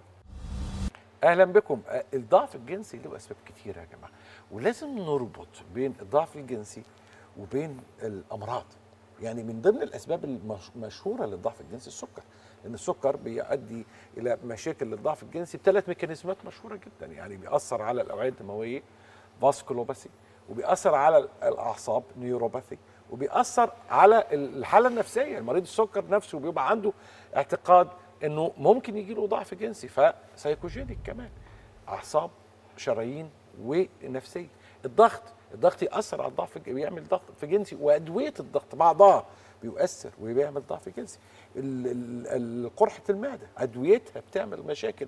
القديمة الجديدة ال less extent شوية. الاكتئاب بعض أدويته بتعمل. ارتفاع البرولاكتين بيؤثر وبيعمل ضعف جنسي. مشاكل الغدة الدرقية من ضمنها ال MS المرض المشهور جدا. دلوقتي التصلب المتناثر ده من أول أعراضه الضعف الجنسي. الضعف الجنسي ممكن يحصل نتيجة حالة نفسية. اعتقاد الإنسان إنه مذنب فيحصل له ضعف جنسي. في حالات العلاقات الغير آه، آه، آه، قانونية خارج نطاق الزواج أو ما يسمى بغلبة إحساس الأمومة أو غلبه إحساس الأبوة بيؤدي إلى مشاكل. يعني يحس إنه البنت دي اللي هو متجوزها قريبة بالشبه من بنته اللي توفت مثلا فيحصل له ضعف جنسي. أو شوفي غلبة الأمومة إن الأم مسيطرة عليه فخايف من أمه. زي ما اتعمل في فيلم نور الشريف بالشكل ده عمله كويس جدا. عنده ميول دايما لكل حد شبه مامته ف حصل حالات نفسية لكن الحاجات العضوية حدث ولا حرج جلطات في أمراض جلط إحداث جلطة في الجسم أو عندها فرصة جلطة في الجسم حالة حالة اسمها ليريش سندروم. حالة ليريش جلطة بتيجي في الشريان المتفرع أو انقسام الشرايين فتؤدي إلى ضعف جنسي. هذا أمر مهم جدا الضعف الجنسي. موضوع في منتهى الأهمية. النهارده هنتكلم عنه بالتفصيل وهنتكلم على شكل علاجي مهم فيه. بالتفصيل في حلقة مهمة جدا مع ضيفي العزيز اسمه متميز وأداء علمي متميز للغاية. الأستاذ الدكتور أحمد عادل أهلا بيك يا دكتور أحمد. أهلا يا دكتور أيمن. آه عايز أتكلم على الضعف الجنسي في الأساليب العلاجية وبرضه في تشخيص. إحنا دايما بنقول جملة وأنا بأصر دايما يذكرها. آه، الضعف الجنسي مرض له حل. يمكن في ناس كتيرة جدا نتيجة زي ما اتكلمنا في حلقات سابقة نتيجة إنها جربت المنشط مرة واثنين وثلاثه بدون استشارة طبيب ومع الوقت ابتدى يفقد الفعالية بتاعته وبتفتكر إن دي نقطة النهاية وإن كده خلاص الموضوع انتهى. وبالتالي خلاص أنا أسلم أمري بقى كده وأنا مفيش أي طريقة تانية. لا النقطة اللي دايما بنأكد عليها الضعف الجنسي مرض له حل واللي خلاه ليه حل تعدد وسائل علاجه. ويمكن إحنا عندنا ثلاث طرق رئيسية لعلاج الضعف الجنسي. تبدأ بالعلاج الدوائي والغلطة الكبرى انه ساعات المريض بيفتكر ان العلاج الدوائي هو مجرد انه ياخد حبايه عند اللزوم. ودي اكبر غلطه. ده مش العلاج الدوائي المقصود ابدا. الخطوه الثانية يمكن ده موضوع حلقتنا النهارده هو الحقن الموضعي اللي بسميه العلاج القديم الجديد. وأخيرا التدخلات الجراحية اللي هي زرع الدعامات اللي خلته مرض له حل فعلا. ده كله هيكون مبني زي ما حضرتك ذكرت على تشخيص. وهي دي الخطوة الأهم في الشغلانة بتاعتنا. مش إني أكتب روشتة مش إني أقول له خد حقنة ومش إني أعمل له عملية. قبل ما ألجأ لأي حاجة من الحاجات دي أنا المفروض أبقى أنا والمريض متفقين إن إحنا قدام وضعية معينة درجة من درجات الضعف اللي قد تستوجب علاج دوائي فقط أو لأ حقن موضعي أو تدخلات جراحية. فيبقى أن التشخيص هو الأهم. النهارده إحنا خلي بالكم إنه الحلقات آه، يعني كل حلقة جزء معين. يعني هنتكلم النهارده على الحقن الموضعي. ما هو المقصود بالحقن الموقعي؟ الموضعي أين موقعه من خريطة العلاج؟ السؤال ده في منتهى الأهمية. الحقن الموضعي ببساطة هو ان أنا بحقن مباشرة جوه العضو الذكري مواد منشطة بتساعد على تدفق الدم جواه لأن إحنا زي ما إحنا عارفين الانتصاب ده عبارة عن وضعية ضخ دم. فبالتالي الأدوية دي لما بتحقن مباشرة بداخل القضيب بتساعد على ضخ دم بشكل قوي ومباشر يساعد على إتمام العملية الجنسية. الحقن الموضعي موقعه من علاجات الضعف الجنسي أنا بسميه القديم والجديد. ليه قديم وجديد؟ قبل عصر ظهور المنشطات الجنسية اللي باخر التسعينات كانت هو هو ده العلاج الوحيد للضعف الجنسي الغير جراحي. لأن الجراحة طبعا زرع الدعامات. فبالتالي كان هو العلاج الوحيد. مع ظهور المنشطات تراجع دوره لأنه طبعا بقى أسهل بكتير إنك تاخد حباية إنك تاخد حقنة. لكن لأن إحنا زي ما ذكرنا قبل كده عايشنا عايشين حاليا في عصر بنسميه era of the poor responders إنه الناس فقدت آه، التأثير بتاع المنشطات الجنسية معاها. فرجعنا تاني لموضوع الحقن الموضعي. وللأسف الشديد ويمكن ده ممكن نذكره بعد شوية إنه اتظلم. جملة شهيرة جدا بنسمعها من المرضى أول ما يذكر الحقن الموضعي. بلاش يا دكتور لو سمحت. أنا سمعت إنه بيعمل تليف. بلاش يا دكتور لو سمحت. مش معقول هدي نفسي حقن وشكشك روحي والكلام ده كله. وده يمكن راجع إن الناس محدش وضح لها بشكل كبير تقنية تك- تكنيك الحقن. المواد دي بتستخدم إزاي؟ وإزاي ملهاش أي آثار جانبية ولو في في أضيق الحدود. يبقى يبقى السؤال التقليدي التقنية و و و والاستخدام. آه، تكنيك الحقن هو تكنيك بسيط جدا. يمكن إحنا معانا صور هنشوفها دلوقتي لتكنيك الحقن. هو حقنة إنسولين. ويمكن مرضى السكر كلهم لأنهم مرضى في الأغلب بيعانوا فترة من فترات من وجود ضعف جنسي. زي ما حضرتك ذكرت في مقدمة الحلقة عارفين إنه حقنة الإنسولين دي حقنة بسيطة جدا. سن ما هوش كبير خالص. الصور يمكن معانا اهي. آه، بتحقن مباشرة. أنا دايما بقول للمريض مش محتاج إنك تكون بتعرف تدي حقن. مش محتاج إنك تخش في وريد معين أو شريان معين. أو أو أو. ده في جسم القضيب مباشرة. حاجة بتتعلمها في دقيقة. وفي منتهى السهولة وفي منتهى اليسر ومفيش منها أي خطورة. فكتكنيك حقن مفيش فيه مشكلة. بياخد دقيقة وبنعلم المريض والأمر بعد كده في منتهى السهولة. يمكن في الأول بيكون مستغرب شوية. الفكرة نفسها بتبقى غريبة شوية لكن بعد شوية الأمور بتمشي عادي وبيبقى حاجة بيعملها بشكل دوري من غير أي مشاكل. متى نلجأ له؟ السؤال ده برضه في غاية الأهمية. متى نلجأ له؟ لو وصلنا لمرحلة زي ما اتفقنا من شوية إن التشخيص هو الأهم والتشخيص ممكن يورينا إن إحنا وصلنا لمرحلة الاستجابة على العلاجات الدوائية بقت ضعيفة. أول ما هنصل لهذه النقطة هنبقى قدام حل من اتنين. يا اللجوء للحقن الموضعي وأنا بعتبره الخطوة الثانية أو اللجوء للتدخل الجراحي. ليه ممكن أسكيب أو أوقع خطوة الحقن؟ في بعض المرضى بيجوا يقولوا لي بص يا دكتور يعني هو جايب معايا نتيجة وكويس جدا بس أنا الفكرة مش مستساغة بالنسبة لي. فده خلاص بقوله. يبقى هنتجه ناحية الحقن الموضعي ناحية آسف زرع الدعامات. لكن إمتى ألجأ للحقن؟ بمجرد ما أصل لمرحلة أو استنتاج نتيجة التشخيص اللي إحنا عملناه المعتمد على وسائل كتير ذكرناها قبل كده إنه العلاج الدوائي فقد فعاليته مع هذا المريض. فيجب الانتقال للخطوة التالية اللي هي الحقن الموضعي. لو عندي 10 حالات دخلوا بيعانوا من ضعف جنسي هل العشرة يصلح لهم؟ آه، حق. حسب درجة الضعف اللي موجودة عندهم. هو الحقن عشان دي نقطة مهمة أس- اسيء فهمها شوية. هل الحقن هيجيب نتيجة مع كل الناس؟ لا ما حدش قال كده. إحنا زي ما اتفقنا الضعف درجات. في بعض الدرجات هتستجيب وبعضها لا. لكن في بعض المرضى بيجوا لنا حاليا في عياداتنا يقول لي بص يا دكتور أنا باخد الحباية وجايبة معايا نتيجة هايلة جدا. بس للأسف مش قادر أتعامل مع الآثار الجانبية بتاعتها. الصداع الزغللة احمرار العين كل الكلام ده بي- بيفقدني المتعة. ممكن أخش على الحقن؟ آه طبعا ممكن. لأنه الحقن لو قارناه بالأدوية العادية إحنا عندنا ثلاث مميزات كبرى بالمقارنة بالأدوية العادية. واحد هو ملوش أي آثار جانبية وده لأنه بيحقن مباشرة داخل الدورة الدموية الخاصة بالقضيب. ملوش دعوة بالدوره الدمويه العامه للجسم ما فيش صداع مفيش زغللة مفيش احمرار كل الكلام ده مش موجود. مفيش تعارض مع أدوية تانية. ودي النقطة الثانية المهمة جدا. زي ما اتفقنا قبل كده إنه أغلب مرضى الضعف الجنسي هو إما مريض سكر يا مريض قلب يا مريض ضغط وبالتالي بياخد بعض الأدوية اللي قد تتعارض مع الأدوية المنشطة العادية. الحقن ما فيهوش المشكلة دي. الحقن ده ملوش أي تعارض لأنه ما بيخشش الدورة الدمويه العامة للجسم. هو كله داخل الدوره الدموية الخاصة بالقضيب. النقطة الثالثه والأهم هو الفعالية والسرعة. معروف إنه أي حد بياخد منشط جنسي المفروض بياخده قبل العلاقة الزوجية من ساعة لأكتر ولازم على معدة فاضية ولازم ولازم ولازم. الحقن الموضعي ما فيهوش التحضيرات دي بمعنى مش المفروض يكون هو على معدة فاضية مش قبلها بساعة قبل الجماع ب 10 دقائق ربع ساعة بيتم الحقن ويتم الاستجابة. طيب ال- المادة الفعالة في الثلاث أدوية المشهورة للسند السيلندلافيل هو phosphodiesterase inhibitor هو بيشتغل على إنه بيقلل تكسير ال nitric acid اللي موجود وبالتالي بيخلي الأوعية الدموية تتسع. بالظبط كده. إيه ال mechanism بتاع الحقن؟ كل مواد الحقن اللي إحنا بنتكلم عن المواد الحديثه اللي إحنا بنشتغل بيها دلوقتي هي كلها vasodilators كلها موسعات شرايين. موسعات شرايين. ويمكن في نقطة مهمة جدا إن هم نفس هذه المواد بتستخدم في الرعايات للمرضى اللي عندهم قصور في الشريان الرئوي قصور في عضلة القلب بتحقن ليهم في الرعايات طبعا اي في يعني.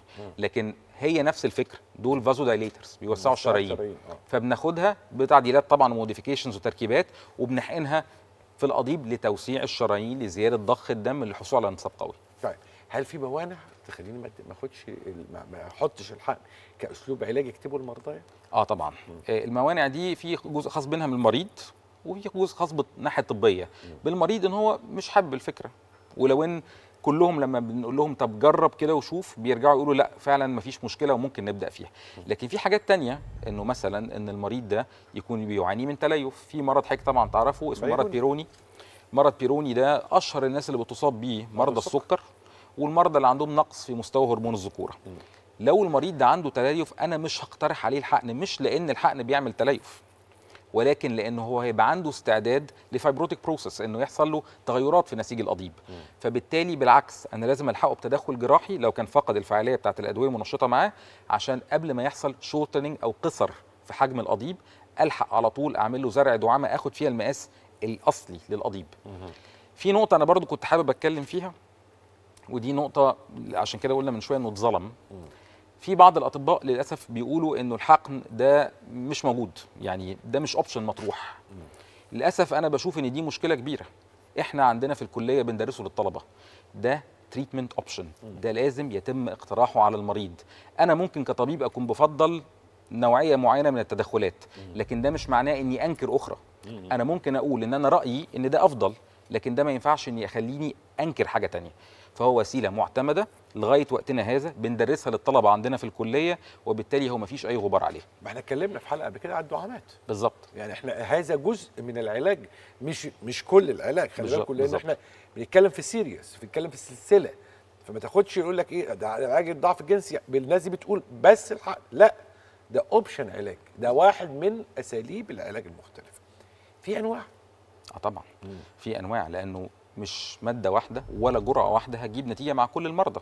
بتختلف حسب سن المريض بتختلف حسب هل عنده comorbidity عنده سكر عنده ضغط درجته في التظبيط الحاجات دي كانت إيه. فبالتالي لا طبعا مواد كتيرة جرعات مختلفة آه، تحدد بناء على التشخيص. عشان كده أهم خطوة هي التشخيص. أنا اللي هعرف بيه درجة الضعف إيه فأقدر أقول للمريض حضرتك هتستفيد من الموضوع ده من المادة دي بالجرعة دي أو محتاجين نعمل grading لل dose. يعني ممكن نبدأ بجرعة صغيرة ونج ون- ونزودها بعد كده تدريجيا. كله هيكون بناء على درجة الضعف اللي موجودة. فبالتالي آه طبعا في أنواع كتيرة وجرعات مختلفة. أسعدني الحوار العلمي معاك جدا النهارده جدا. أيمن. حطيت نقاط واضحة جدا حطيت سيبريشن واضح جدا كالعادة و رسمنا خريطة مهمه جدا لجزء تاني مهم من علاجات الضعف الجنسي. يبقى إن ده جزء من سلسلة العلاج بتاع الضعف الجنسي لأنه عايزين تجمعوا الأساليب العلاجية كلها لازم تتفرجوا على السلسلة كلها. لازم تتكلموا شوفوا الحلقات مجمعة عشان ما تقولش إن بس إحنا اتكلمنا النهارده على الحقن الموضعي ضيفي العزيز الأستاذ الدكتور أحمد عدل مدرس أمراض الذكورة والعقم بكلية الطب قصر عيني جامعة القاهرة واستشاري عقم الرجال والضعف الجنسي وزميل الجمعيه الأوروبية للصحة الجنسية. نورتني في الناس الحلوة. أشكرك يا دكتور. أسعدتني بهذا الحوار. خليكم دايما بعيد عن كل الأوهام وخليكم دايما معانا مع الناس الحلوه الإنسان جسمه هش على فكرة وليس بالقوة اللي أنتم متخيلينها. المخ والاعصاب والعمود الفقري. فجأة كده رجلي اتعثرت في تلتوار المفروض قدام يعني مثلا اهو شوف الوقعة تعمل إيه؟ الوقعة تعمل بلاوي. الوقعة الواحد ينزل. الوقعة على طول بقى طالما بقى ما اللي عمل السلم ده مش واخد باله إن حضرته لازم يكون الحاجات ملساء ومظبوطة. لازم كل واحد يراعي ضميره. ما هو ده إماطة الأذى. ما ده ده, ده عمل سلم فيه أذى. بص الرقبة ممكن يحصل فيها إيه؟ سهل جدا تتكسر. لو الواحد وقع من على تلتوار أو وقع من على سلم عالي شوية ممكن يحصل له يعني كسور كسر طبعا مشكلة الفق- الفقرات ضعيفة جدا في كل حتة. القطنية والعنقية ما تفتكروش إن الفقرات قوية قوي تقدر تتحمل الوقعات دي؟ والسبب بيكون إيه؟ واحد مش مش واخد باله من شغله. واحد مش سايب شوية مية قدام آه، آه، آه، مصلحة حكومية حد نازل يتزحلق. بنت بتعمل آه، شغلها مثلا بتشتغل تمسح ال- ال- الترابزين ولا بتمسح بتاع ما مسحتش بتمسح السلم ما مسحتوش كويس واحد يعني نازل يتزحلق ينزل درب ويدفع ثمن غالي جدا. الزوجة لما بتكونش عندها دقة في إنها وهي بت- بتعمل شغل البيت تحط كل حاجة مكانها وتعمل شغلها صح لو هي اللي بتعمل نفسها أو عندها حد بيعمل فتراعي يراعي نفس يراعي النفس اللي ماشية في الأرض دي. اماطه الأذى عن الطريق دي يا جماعة حاجة مهمة جدا وإلا الثمن هيكون غالي. وزي ما هرجع تاني أقول جسم الإنسان مش قوي زي ما أنتم متخيلين. الشيلة الغلط والقعدة الغلط دي كلها حاجات بتدفع ثمنها غالي جدا.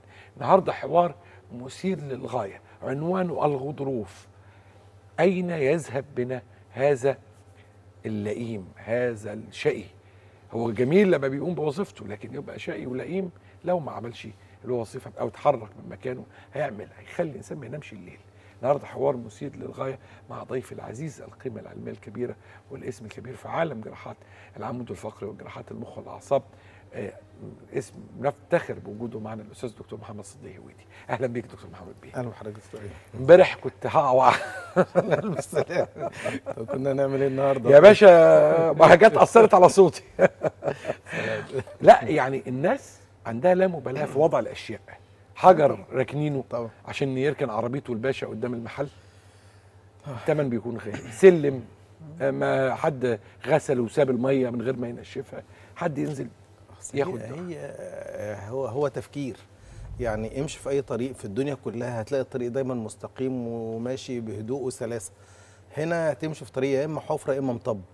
لا اما طيب، الطريق نفسه ماشي متلولو. مطب ممكن مطب عند حتة قدام مدرسة قدام بس حاجة لها إرشادات. لكن مطب في مطلع كوبري ما تلاقيهوش. مش كده؟ قدامكم هنا قدام مدينة الانتاج الاعلامي مطب مثلا خمس مطبات في خلال 100 متر. أنت كلت الأولاني قلت الحمد لله بقى أكمل بقى وأمشي. آه، مفيش حاجة تانية أكيد. اتنين تلاتة ورا بعض. الكلام ده طبعا زي ما بيكسر العربية ويكسر الكاوتش يقطع الكاوتش بي بيقطع في البني آدم. الحقيقة وممكن يكسر في البني آدم وممكن يسبب تلفات كبيرة جدا على مستوى العمود الفقري وعلى مستوى المخ كمان. يعني إحنا ما ننساش إن إحنا الموضوع بتاعنا دايما هو المخ والأعصاب والعمود الفقري. دي حاجة مهمة جدا و very precious وحاجه غالية قوي وحاجه قيمة جدا. يعني خبطة صغيرة في يعني مع مطب وكده والراس خبط كده يجي لي نزيف في المخ يجي لي ارتجاج في المخ. واخد بال حضرتك؟ يجي لي كسر في الرقبة يجي لي كسر في الفقرات القطنية والعجزية. اللي كتير جدا دلوقتي مثلا مشكلة الام الظهر والناس دايما تتساءل يعني طب ليه يعني؟ ده أنا عمري ما شلت شيلة تقيلة. لا هو ناسي ناسي إن هو وقع مرة بالعربية في حفرة أو ركوب المواصلات اللي هي ال- ال- ال- اللي فيها مشاكل كتيرة زي العربيات الصغيرة والحاجات دي وموتوسيكلات والحاجات دي. وخد بقى مطبات واتزحلق ووقع. الحاجات دي كلها ما بتسيب أثر. ست البيت اللي في البيت اللي هي بتتزحلق في السيراميك وزحلقت نزله السلم حاجات مشهورة جدا. الزحلقة وانت في البانيو والزحلقة وهي خارجة من البانيو انت عارف؟ ده ده ده دي كده بتبقى يعني بصمة وعارفينها يعني في الناس. والحقيقة بيبقى لها مشاكل بقى كبيرة جدا. ما المقصود بالغضروف القطني عندما يحدث فيه إصابة؟ تمام. هو هو تركيب العمود الفقري الحقيقة يعني بديع جدا وربنا خلقه آه، في في تكوين رائع وعظيم يعني. هو عبارة عن مجموعة فقرات يعني المنطقة القطنية هم عبارة عن خمس فقرات خمسة بس. والخمس فقرات ما بينهم خمس غضاريف. يعني في غضاريف كل ما بين فقرتين في غضروف. والغضروف ده ببساطة جدا هو عامل زي الكاوتشه كده هو عارف زي زي الدوناتس كده اللي هي المدورة ومحشي حاجة يعني عارف جواه حشو. هو بيبقى عبارة عن من بره حلقة من الألياف fiber كده وجواها مادة جيلاتينية. التكوين بتاعها اللي ربنا خلقه علشان تتحمل الصدمات تتحمل الضغط وتتحمل التحميل ال vertical loading اللي هو التحميل الرأسي على العمود الفقري بمعنى إن أنا لو شايل أنا بحمل على إيه؟ على الجزء بتاع الغضروف. الفقرات لأنها صلبة بتنقل الضغط بتاعها على المنطقة اللينة أو الضعيفة في العمود الفقري هو الغضروف. الحقيقة. فسبحان الله فالغضروف يتضغط جامد جدا. مع تكرار الضغط على هذا الغضروف بيحصل حاجتين. نمرة واحد بيفقد السوائل اللي جواه. يبدأ ينشف. الغضروف ده جواه حوالي كام 90% منه مية. واخد بال حضرتك؟ تبدأ كمية المية بتاعته تقل. مع كتر الضغط اللي عليه بيتعصر المية بتاعته تقل. فيبدأ يحصل حاجة بما يسمى تشقق في الجراب الليفي اللي حواليه. ها يحصل هنا failure بقى. زي ما يبقى عندنا مثلا فرده الكاوتش بتاعت العربية مع كتر الحمولة عليها تبدأ تطق وتحصل فيها شرخ كده بالطول أو حاجة وبعد شوية تلاقي الجزء الداخلي يخرج منها. ده اللي بيحصل عندنا. أول حاجة هينشف المية بتاعته بتقل. تاني حاجة تحصل الإصابة اللي هي القطع طيب الموضوع ما بيوقفش على كده. هو اللي ماشي ما بين الفقرات وبعضها ده اسمه عصب. العصب ده المفروض له مساحة يتحرك فيها. لما بيحصل هذا التضاغط المسافة دي بتقل. فيبدأ العصب ده ينضغط ما بين الفقرات ويبدأ الغضروف ده يتحرك يرجع لورا. فانضغط ما بين العظم وهينضغط كمان ما بين الغضروف. تبدأ الفقرة نفسها تضعف. يعني اللي بيمسك الفقرة الغضروف جزء من الحاجات اللي بتربط الفقرات ببعضها. فالفقرة تضعف. فعلشان تقوى تاني الفقرة تبدأ الأنسجة أو الأربطة تتضخم اللي هي ماسكة اللي هي اللي بنسميها الليجمنتس تبدأ تتضخم علشان تمسك الفقرة أكتر. لما بتتضخم هتضغط أكتر على العصب. يبقى العصب انضغط من الغضروف انضغط من ضيق المسافة ما بين الفقرات انضغط من الوسيلة الدفاعية بتاعت الجسم نفسه اللي هو من الأربطة. انضغط لما الغضروف بدأ يتآكل والعظم بدأ يضغط على بعضه ويكحت في بعضه وتنزلق الفقرة فبدأت تشد على العصب كمان. العصب في الآخر اتفعص جامد جدا انضغط جامد جدا بدأ يحصل فيه مشاكل. وهو ده اللي بيدينا من البداية الالام اللي الناس بتسميها زي عرق النساء أو التهاب العصب الوركي آه، أو المتلازمة الكمثريه أو حاجات كتيرة جدا مسميات كتيرة جدا جت في المنطقة دي. بس هي خلاصتها إن يبدأ يحصل الام ممكن تحصل في الظهر. ده 40 ل 60% من الناس يبقى عندهم ألم في الظهر. في ناس عندهم كل المشاكل دي كلها وما يجي لهمش ألم في الظهر ويبدأ يسمع في الأطراف. و... آه، وكلمة عرق النسا أنت عارف كلمة عرق النسا دي أطلقت سنة كام؟ من 1451 يعني إحنا بقالنا أكتر من 600 سنة الناس متعارف عندها كلمة عرق النسا دي. ده حقيقة. يعني يعني هو النسا ولا النسا؟ هم كانوا بيسموه عرق النسا يعني عرق النسا. بس هي تطورت الترجمة بتاعت العصب السياتيك نيرف اسمه عرق النسا. فهي جت بقى عرق النسا والنسا من الستات اللي هم كانوا بيوطوا بيشتغلوا بيشيلوا كتير. وكانت في صورة في الكتب القديمة دايما يجيب لك ال ال ال الست أو ربة المنزل وهي قاعدة على الأرض وعلى ركابها وبتمسح في البلاط أو بتمسح الأرض كده وبتعمل. فده كان بيضغط على الغضروف وفي نفس الوقت أنت بتعمل أقصى اختبار للعصب. أنت عارف أقصى اختبار للعصب إيه؟ إنك تتني الركبة لفوق الرجل لفوق كده كأنك بتضمها على بطنك وفي نفس الوقت أنت تاني الركبة من تحت. وضم دي على ناحية البطن فأنت بتشد على العصب اللي هو sciatic nerve بتعمله stretching جامد جدا. عشان كده أهم اختبار عندنا في تشخيص المريض هو إيه؟ بنسميه straight leg raising نام وارفع رجلك.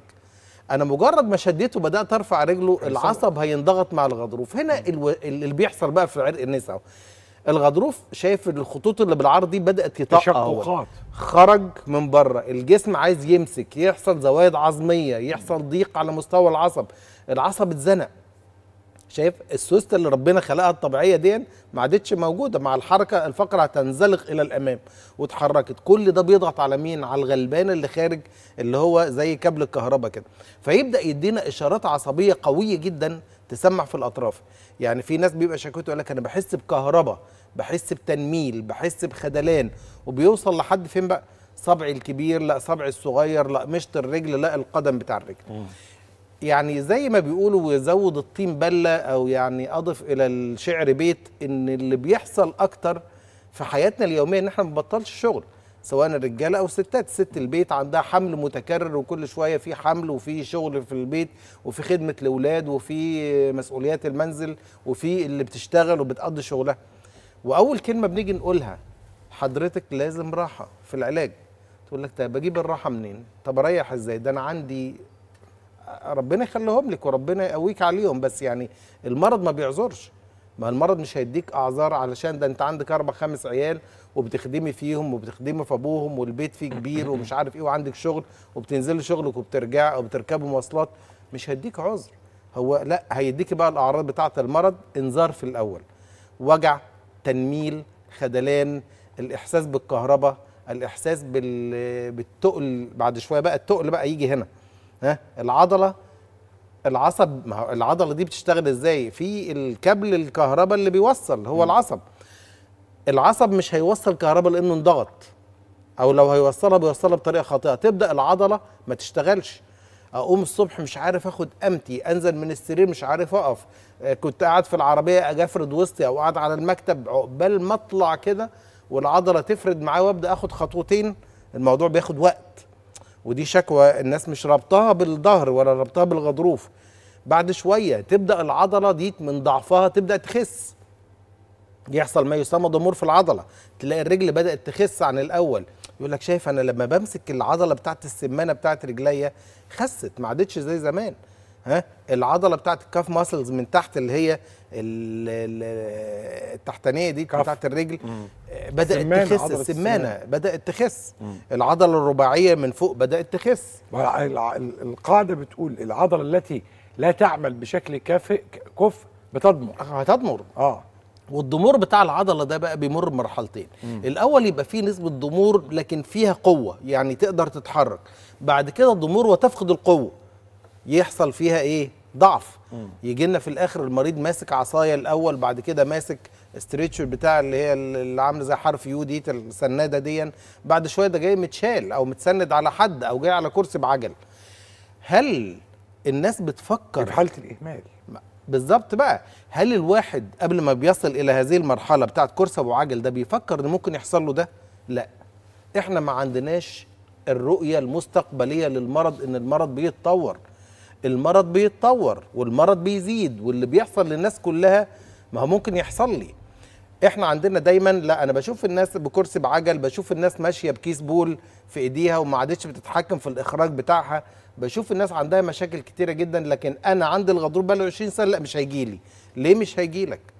وبعدين تسمع العجب. يعني أنا الغضروف ده معايا ده من 20 سنة قالوا لي عملية وأنا ما رضيتش. وهربت من العملية. لا برافو عليك أنت هربت ده أنت شاطر جدا. طب هو الهرب ده أدى إلى إيه بقى؟ الغضروف كبر الفقرة بقت سايبة الفقرة اتحركت من مكانها أهو شوف عندنا هنا أهو اللي بيحصل. الفقرة انزلقت الفقرة يعني بدأت بانزلاق غضروفي. وعلى فكرة الانزلاق الغضروفي مش كله درجة واحدة ده أنا عندي خمس درجات من الانزلاق الغضروفي ثلاثة منهم قابلين للعلاج. يعني عند غضروف الأول يبدأ يصغر كده وبعد كده تبدأ الحلقة بتاعته تنشف شوية بعد كده يبدأ يضغط على العصب كل ده ده بقى ما يسمى عرق النسف الأول الألم مع الكهرباء اللي نازلة بتضرب في الرجلين. ها؟ وتأثر على منطقة الحوض وتأثر على الإحساس بالبول أو البراز أو الإخراج. يضاف على ذلك لو أنا وزني زيادة لو أنا سكري مش مش مظبوط لو في شغل كتير لو في مجهود زيادة. الفقرة اتحركت من مكانها هي ما اتحركتش لوحدها لأن العصب جواها. بتاخد العصب والضفيرة العصبية معاها وتتحرك. تدينا بقى الأعراض بتاعه الانزلاق الغضروفي مع الانزلاق الفقاري. ونبدأ هنا بقى ندخل في مرحلة إن الألم بقى في الظهر كمان. يقول لك أنا في الأول كان بينزل في رجليا دلوقتي بقى ظهري مش قادر أفرد ظهري. ده أنا لما بنام بستريح. هو ليه بنام بستريح؟ بنام على ظهري بالذات. لأن الفقرة ما هي بترجع بترد. طب دي علامة حلوة ولا علامة وحشة؟ علامة وحشة جدا. معناها إن الفقرة سايبة مش ثابتة ولا مستقرة. يبقى أنا لازم أتدخل. يبقى أنا لما يعني أتدخل كطبيب إن أنا أشخصه وبعد كده أحدد وسيلة العلاج. اللي موجود ده نوع من أنواع العلاج. ده حاجة إحنا بادئين بيها كده إن هي حاجة جميلة جدا وحاجة حديثة جدا. كنا زمان لما بنلاقي الفقرة المكسورة أو المتحركة أو السايبة بنركب شرايح ومسامير. الشرايح والمسامير العادية دي كانت بتثبت كويس جدا ولكن كانت بتمنع ال- العمود الفقري من الحركة فبتعمله تثبيت. فمع أقل وقعة أقل خبطة يا المسمار يتكسر يا الشريحة تتقطم يا الفقرة تتكسر. واخد بال حضرتك؟ طوروا إلى حاجات بيسموها الدعامات أو المسامير الحركية. إيه لها أجزاء متحركة ومادة تيتانيوم قوية جدا تتحمل الصدمات وفي نفس الوقت تسمح معانا بالحركة. طيب الغضروف لما بيبقى كان موجود كده جميل أهون لا مع الضغط عليه بدأ يخرج. هيعمل لي أول عرض إيه بقى؟ لمس العصب. العصب بدأ يكهرب يديني الأعراض بتاعة الكهرباء. تنميل خدلان مش عارف إيه ضعفت. التحميل بقى على العظم العظم هنا اتكسر أهو. ها؟ دي اللي بتجيب بقى الزحزحه الفقرية. يعني هي بدأت بانزلاق غضروفي. كسر هنا مش هيحس بيه الإنسان. اللي عجبني قوي في ال animation إنهم جايبين ال animation ده في. آه، تكوين رياضي. أيوة. الرياضيين معرضين للإصابات ده ده هي المشكلة بقى في وخاصة في الرياضيين. السن الصغير آه. في الشباب بقى اللي هو راح بيشيل. الجيم آه. اللي راح الجيم وفرحان بالجيم هو- وبدأ هو ده يشيل- الشكل بالظبط يشيل شيل هو داخل عايز يعمل shape ويكبر العضلات هو مش فاهم إن الشيل التقيل هو مش بيعمل كده. يعني ال- ال fitness بتبقى أفضل. أشيل أوزان خفيفة لمدة طويلة هيجيب معايا نتيجة أفضل. واجري على ال tread وتعمل shape. أجري على ال treadmill وأستخدم العجلة وأستخدم الحاجات بتاعة ال chest stre- والكلام ده كله. الحاجات آه. دي كلها. آه. لكن أنا بدخل بقى أبدأ أشيل. أوب وطي ارفع مفيش. الحمل تقله يكافئ قوة عضلة الظهر أو ساعات يزيد عنها. تبدأ العضلة تشد غصب عنها. فتبدأ تحمل على العظم. فالعظم الضعيف ده اللي ما عادش فيه غضروف سنده كويس. يبدأ الغضروف يتضخم الأول بعد كده ممكن ينفجر الغضروف وبعد كده الفقرة تبدأ تتحرك. يجي لنا بقى أبو 18 سنة و20 سنة و22 سنة بيبكي. ده الوجع بقف شوية بموت من الألم. آه، لو مشيت مثلا كان بيمشي الأول 5 6 كيلو كان بيمشي 6 7 محطات. دلوقتي ما عادش يقدر يمشي مثلا 500 متر ده أنا بمشي 500 متر بتعب. ده أنا بقف بتعب ده أنا بقعد على الكرسي بتعب. واخد بال حضرتك؟ فدخلنا بقى في مشكلة ما تسمى بقى المضاعفات ضغط على العصب. طيب أنا لو سبته خلاص أنا أنا فدائي بقى وبتحمل الألم أو لجأت بقى للطريقة الخاطئة عبي مسكنات. والمسكنات ومخدرات وحاجات تقلل الكهرباء اللي في العصب وحاجات كتيرة منها سواء بطريقة شرعية أو بطريقة غير شرعية. وحاجات كتيرة إحنا عارفينها يعني. في ناس بتاخد مسكنات بناء على على وصفه طبية.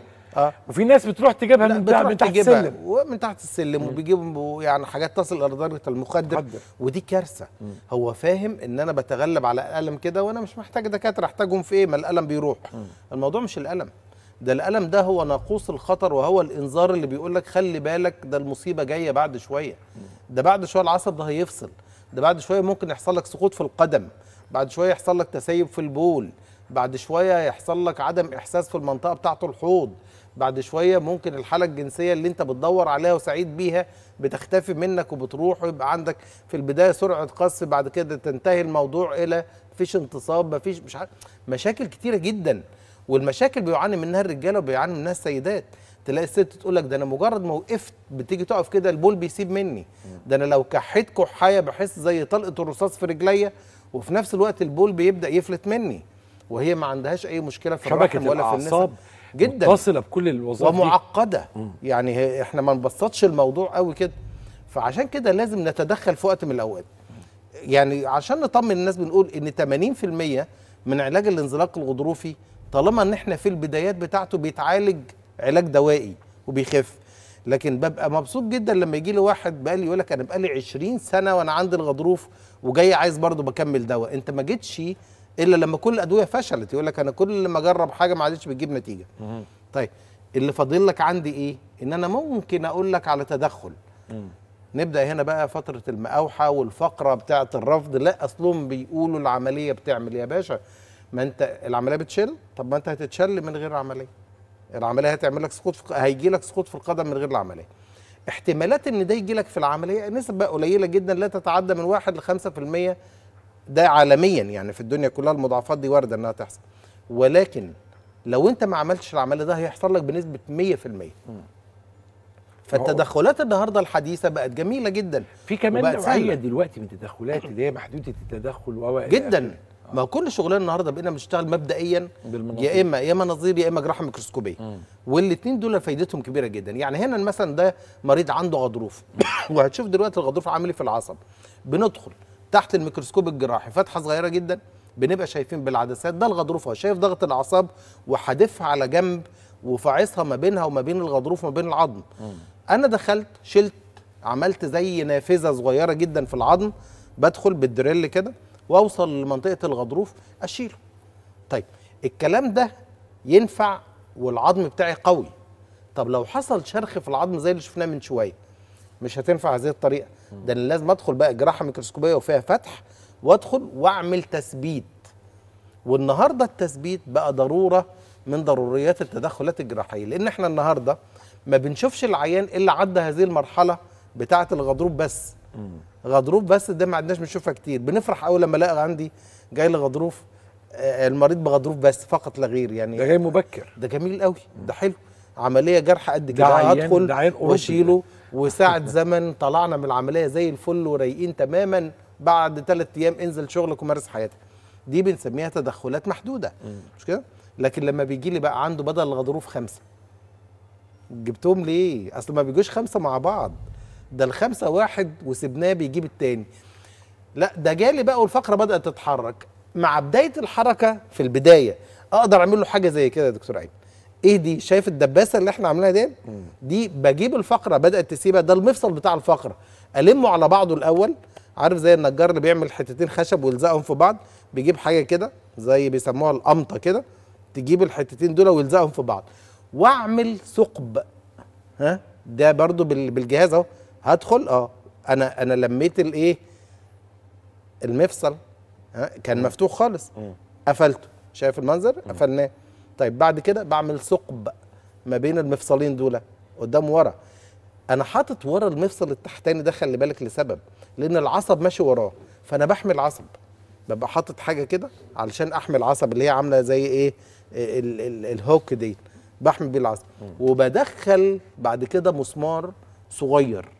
ها؟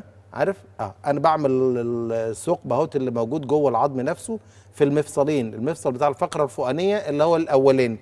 اللي تحتيه المفصل بتاع الفقرة التحتانيه هو كاني بدبس الحتة دي. شوف الدبوس بقى جاي اهو. دبوس فعلا. فعلا ما هو جاي دبوس. بس هو هو, هو على. شكل مسمار. آه. دي من الحاجات الجميلة جدا بس لها وقت. يعني ما تنفعش لا في درجة أولى ولا في درجة تانية ولا في درجة ثالثه دي بنسميها لما يبدأ تزحزح جوه المفصل نفسه. واخد بال حضرتك؟ دي نقدر نشخصها بالأشعاعات. وبنعمل حاجة بنسميها dynamic views اللي هي إيه الأشعة الحركية آه، في وضع انحناء وبتاع. بص المسمار هنا أنا جبت المسمار أهو بالدباسة برضو دي ببدأ أدخله بحيث إنه يعدي الناحيتين. ها؟ يبقى أنا مسكت ولميت ال- ال- الجزء ده على بعضه ولازم أعمله على الناحيتين يعني يمين وشمال. يعني أنا لو عندي المفصل الشمال بس هو المفتوح ما أقدرش أعملها كده بس في الشمال لوحده. لازم أجي على الناحيتين وأعمل اكسبوجر وأبدأ أعمل هذا الكلام. ده اللي بنسميه إيه؟ تثبيت على مستوى المفصل بتاع الفقرة. طيب دي أول درجة من درجات الجراحة. الموضوع الفقرة سايبة ومش فقرة بس ده أنا دخلت في فقرتين في ثلاثة في أربعة في خمسة. طب إيه رأي حضرتك ساعات بنوصل لست فقرات وسبع فقرات وعدينا المنطقة الصدرية كمان؟ ها لازم نعمل حاجة تانية بقى. بنسميها التثبيت المتعدد. التثبيت المتعدد أبدأ أدخل بنفس الفكرة كده وأبين كل مدخل فقرة يمين وشمال وأبدأ أركب اللي بنسميها الدعامات الحركية. ممكن أركب على مستوى فقرتين ها؟ على دي دي مثلا فقرتين. الفقرة الخامسة والعجزية الأولى أهو. ببدأ أجهز نفسي. طبعا لها مدخل بطريقة معينة. يعني أنا مش زي حتة خشبة بربط فيها كده. ده أنا عندي حواليا اعصاب وشرايين وكمية اوعية دموية واوردة حاجات جحيم يعني. لأن لا قدر الله بجد الناس ساعات بتبقى متخيلة الموضوع سهل وبسيط. لا هو مش سهل. هو يعني هو بقى سهل لأن ربنا سبحانه وتعالى سهله لنا الحقيقة. لكن الموضوع معقد جدا واحتمالية المشاكل فيه وارده واخد بال حضرتك؟ آه عملنا كده دخلنا بالأجهزة ولازم بيبقى في مسارات معينة نقدر نمشي فيها. وصلنا. نبدأ بقى شايف ده؟ الفقرة اللي ساقطة دي أنا برجعها لورا وبشدها. أبدأ أشدها. وما ينفعش تشدها فجأة. لأنك لو شدتها فجأة ممكن العصب اللي هو بقى مرخي ده يقوم جاي عامل زي حرف يو كده وحتة منه تقوم داخلة تحت الفقرة مفصول معايا فيه لازم زي ما بقول كده. أنت بترجع دي وبنفس الوقت أنت بتشد العصب إيدك عليه. العصب رجعه بالراحة. خالص بطريقه طبعا دي جراحة ميكروسكوبية. أنت مش بتشد كده. لا كلها أجهزة. والرؤية عندنا هنا مكبرة. عملنا التثبيت أهو. يبقى ده نوع تاني من التثبيت. طيب لو عندنا ثلاث فقرات أربع فقرات خمس فقرات أهو. شوف بقى خاصية المسمار ده عامل إزاي. بيتحرك. في range mov- في range movement 45 درجة شمال 45 درجة يعني بيجيب 90 درجة يمين وشمال وفوق وتحت. كان زمان بيخافوا من التثبيت على أساس إنه هي limit ما هو. كان اسمه تثبيت. عشان آه. كده سموا ده ده بيسموه تثبيت حركي. وما عادتش الشريحة المخرمة اللي هي كانت حتة حديدة فيها خرام دي لا. بقى الموضوع هنا عبارة شوف دي الصامولة بتاعته لها سريشن بشكل معين عاملة زي النجمة كده والنجوم دي لها وظيفة مهمة جدا إن هي بتضغط بدرجة معينة وتمنع إنها تفك. هي بتعمل لوك لوحدها. دي ما نعرفش نفكها كده إلا بجهاز بتاعها. يعني أنت ربطتها خلاص هي قفشت على كده وقفت على كده مش هتفك تاني. ما تفكش إلا لو أنا فاتح جوه وأفكها. لكن في أنواع طبعا بتبقى رديئة جدا. يعني ممكن تف... يعني نعمل أشعة بعد شوية تلاقي جينا ناس كده مسمار مقسوم ثلاث حتت ومفكوك. شوف ده التركيبة بتاعتها بقى في الآخر اهي ها شايف؟ راس المسمار متحركة ودي تكنولوجيا أول ناس دخلوا الكلام ده كانوا الألمان الألمان. الحقيقة. متقدمين جدا. الألمان والأمريكان. آه. عملوا الكلام ده بس الألمان هم ال- ال pioneer. و- و- والحقيقة برضو اللي متقدمين جدا في هذا المجال دلوقتي الفرنسويين يعني الفرنسويين يعني كانوا من الناس السباقين في جراحات ال- العمود الفقري. لكن هي مشهورة إن ال materials الألماني دايما بتبقى دلوقتي أرخص في التكلفة وفي نفس الوقت more durable يعني يعني بتستحمل. وبتشيل لأن دلوقتي بقينا كمان مش مجرد إن إحنا نعمل عملية ده إحنا العملية بنفصلها.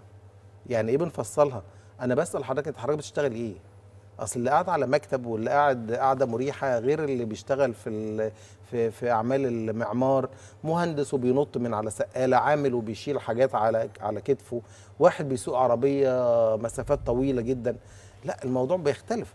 يعني ببقى عارف أنت إيه. والحاجة التانية في التفصيل بتاعتنا بنشوف الوزن. يعني اللي وزنه 60 كيلو 70 كيلو غير اللي وزنه 120 كيلو. الحاجة الثالثه بتشوف كثافة العظم. العظم ده ما اصل انت بتركب ال- ال- المسمار ده أو الدعامة دي جوه عظم. هل العظم ده قوي ولا ضعيف؟ ما يفرق. يعني انت لو عندك مسمار بتحطه في خشبة والخشبة دي ضعيفة وبايشة ومخلوعة كده ما هو من أقل حركة هيخرج يا إما هيكسرها. طيب لو لو هي قوية وماسكة نفسها يبقى انت ضمنت الأمان له. طب لو الدنيا سايبة وغصب عنك لازم تثبت. فساعتها بنعمل حاجة بقى تانية بنسميه المسمار ده فيه تكنولوجي في المسامير دي إن أنا ممكن أحقن جواها. بنحقن مادة زي الصمغ كده مادة أسمنتية قوية جدا. هتدخل تمسك المسمار في الفقر. واخد بال حضرتك؟ يعني العلم دايما بيوجد لنا الحلول. بس إحنا نسمع كلام العلم. قبل ما نمشي بقى قول لي بقى تقطعت الرأس عشان دي حاجة قلقتني آه لا ده في ناس آه، في ناس محترفين آه، يقعدوا بال- يعملوا آه، كده، آه. يعمل كده ويحس. هي الحقيقة بتحسسك بالراحة في الأول يعني شوية. ليه؟ لأن في بعض التقطيعات دي بيبقى عبارة عن الزوائد العظمية دي بتبقى موجودة فهي بداية الالتصاق. هي حاجة بتحاول تمسك في حاجة. لما بتعمل كده التقطيعه دي انت بتفكها في الأول. الحمد لله ما اتكونتش. بس دي بقى ساعات بتقوم جاية العظم ده يتفتفت فتافيت صغيرة جدا ويبدأ يكون عظم جديد أقوى من الأولاني. أنت اديته ال material اللي هي تعمل لك خرسانة بقى. كتلة خرسانية جوه. الحاجة التانية بتسيب المفصل نفسه. يعني تكرار الحركة دي هو الفقرات ربنا خلقها تنام فوق بعضها راكبة على بعض كده وفي أربطة بتمسكها. أنت كل ما بتحرك زيادة الرباط ده بيسيب. يعني أنت زي زي أي أستك بتقعد تشد فيه تشد فيه. يا فندم الأستك بتاع البنطلون نفسه. كل ما تلبسه بعد فترة تلاقي البنطلون ممكن يقع لوحده. ليه؟ استخدام الأستك فترات طويلة. مش ده حقيقي. بتاع الشراب بلاش البنطلون. آه بتاع خليه الشراب ده بيقع. آه؟ طبعا. لأن الأستك بي إيه؟ بيضعف. مش. كده؟ آه. ال over stretching بتاعه هنا في الرقبة بيحصل نفس الكلام. الأستك ده بيتمط يتمط يتمط إلى إن الرقبة دي يحصل فيها حاجة اسمها subluxation subluxation دي كارثة. إن الفقرات هتتحرك هي هتتحرك لوحدها في الشارع. ده بتتحرك وماسك فيها نايم عليها الحبل الشوكي. فكل حركة منها قاعدة بتخبط فيه بتلط في الحبل الشوكي وتخبط فيه. فده ممكن يعمل إصابة في الحبل الشوكي يعمل ضمور في الحبل الشوكي يعمل ضمور في العصب الطرفي اللي هو داخل على الدراع وبتاع. وفي ناس يعمل العملية ويشعر بعد العملية لمدة ست شهور لسنة بوجع نفس الوجع ونفس التجميل ونفس الخدلان هو ساعات أول فكرة تيجي للعين يقول لك العملية فاشلة. العملية مش فاشلة العملية ناجحة جدا. بس هو القصة إن الجزء اللي حصل فيه التلف بتاع العصب ده العصب الطرفي اللي هو جاي على الجنب ده هيبدأ يعوض نفسه. ست شهور لسنة بيتحسن. لكن لو كان هذا الإصابة موجودة في الحبل الشوكي ما هتفضل ملازماك. طب أمال عملت العملية ليه؟ ده أنا عملت عشان أنقذك من شلل مؤك- مؤكد جاي. كان هيحصل شلل؟ آه. الرقبة بتعمل شلل رباعي إيدين ورجلين. الرقبة ممكن تجيب جلطة في المخ؟ آه. الفقرات العنقية تجيبها. ممكن تعمل مشاكل مع الجهاز الهضمي وعدم التحكم في الإخراج والأكل ما بيمشيش. الدنيا مكلكعة جدا في بعض الأحيان بنصل إلى مضاعفات عنيفة جدا ما نتمناش إن إحنا نشوفها الحقيقة. أنت أسعدتني كالعادة بحوارك الممتع دوت. خليني أقول لكم إنه الح- الحلقة دي متصلة بالحلقة اللي فاتت اللي هو العمود الفقري كله الغضروف العنق النهارده المرة اللي فاتت الغضروف ال- القطني. فلازم نذاكرهم الاثنين مع بعض لازم نراجعهم الاثنين مع بعض. القعدة وال وال وال والنوم الغلط بتسبب مشاكل عنيفه جدا. وضعية الرأس الخاطئة. في ناس بتدخل تتفرج عليهم قاعدين في كافيه قاعد عامل كده بيتفرج على تلفزيون أو بتاع عامل كده. اهو ده ما أعرفش جايب القعدة دي منين. في في البيت. طريقة المذاكرة. الغلط طريقة شيل طبعاً- الشنطة طبعاً، للأطفال آه، غلط طريقة القعدة في المكتب غلط. لا حاجات لازم ناخد كتير بالنا. غلط، ممارسة. الرياضة الغلط. في ناس آه في ناس في الجيم بتت- بتتحرك في ناس بتشيل حديد. يقعد يشيل حديد ويقعد يشيله على رقبته يعني هو بيطلع وست البيت اللي بتشيل مرتبة على رقبتها وتطلع بقى الدور الثالث عشان تنشرها آه. وفي ناس شغلهم كمان آه. يعني بص تلاقي واحد رفيع شايل 16 شكارة أسمنت فوق دماغه وطالع بيهم الدور مش عارف الرابع والخامس ثقافة. الشيل على الراس دي غريبة جدا عندنا ما أعرفش رغم إن. دلوقتي كل الناس بتبني أدوات أدوات. أجهزة لا لسه ما نزال الطوب يتشال كده والبتاع. لا الله يعينهم يعني الله. يعينهم. بس في- يعني في ناس بيعانوا أنا بقول للمقاولين يعني. والناس اللي معاها فلوس المهندسين والشركات والمقاولين اللي هم بياخدوا ال- البهاريز كلها يحنوا على الناس الغلابة دول ويجيبوا لهم الأجهزة اللي تشيل يعني الحاجات الغلبان ده غلبان جدا. أصل جداً. متخيل يعني مثلا بيبقى يوميته 100 ولا 150 جنيه آه. ويجي يتلط في عملية من دول ما- ما حد- تضيع له اللي عمله كله طول عمره ويستلف ويشحت ويبقى حالته حالة ويبقى صعب جدا. يعني بيبقى الواحد نفسه يساعده بقدر ما غير يستطيع. كده كمان هو بيبقى خلاص وصل لمرحله أعاقه ممكن ما يقدرش يكمل ما هو مش هيعرف. آه. هو متخيل ان ممكن يعود إلى الشيل ده تاني؟ أنا أول كلمة أقولها إيه؟ شوف الأسباب اللي وصلتك لده ابعد عنها خالص ابعدها وإلا هنحصل على نفس النتيجة تاني. أصل العملية مش ضمان انك تعيش العمر كله سليم. لا العملية اتعملت عشان تنقذك من مضاعفات كانت هتحصل. بس حافظ عليها عشان ما يحصلش ارتجاع للغضروف تاني ولا ارتجاع للمرض تاني. نورتني وأسعدتني. ضيف العزيز الأستاذ دكتور محمد صديق ودي كان في الناس الحلوة. خليكم دايما مع الناس الحلوة.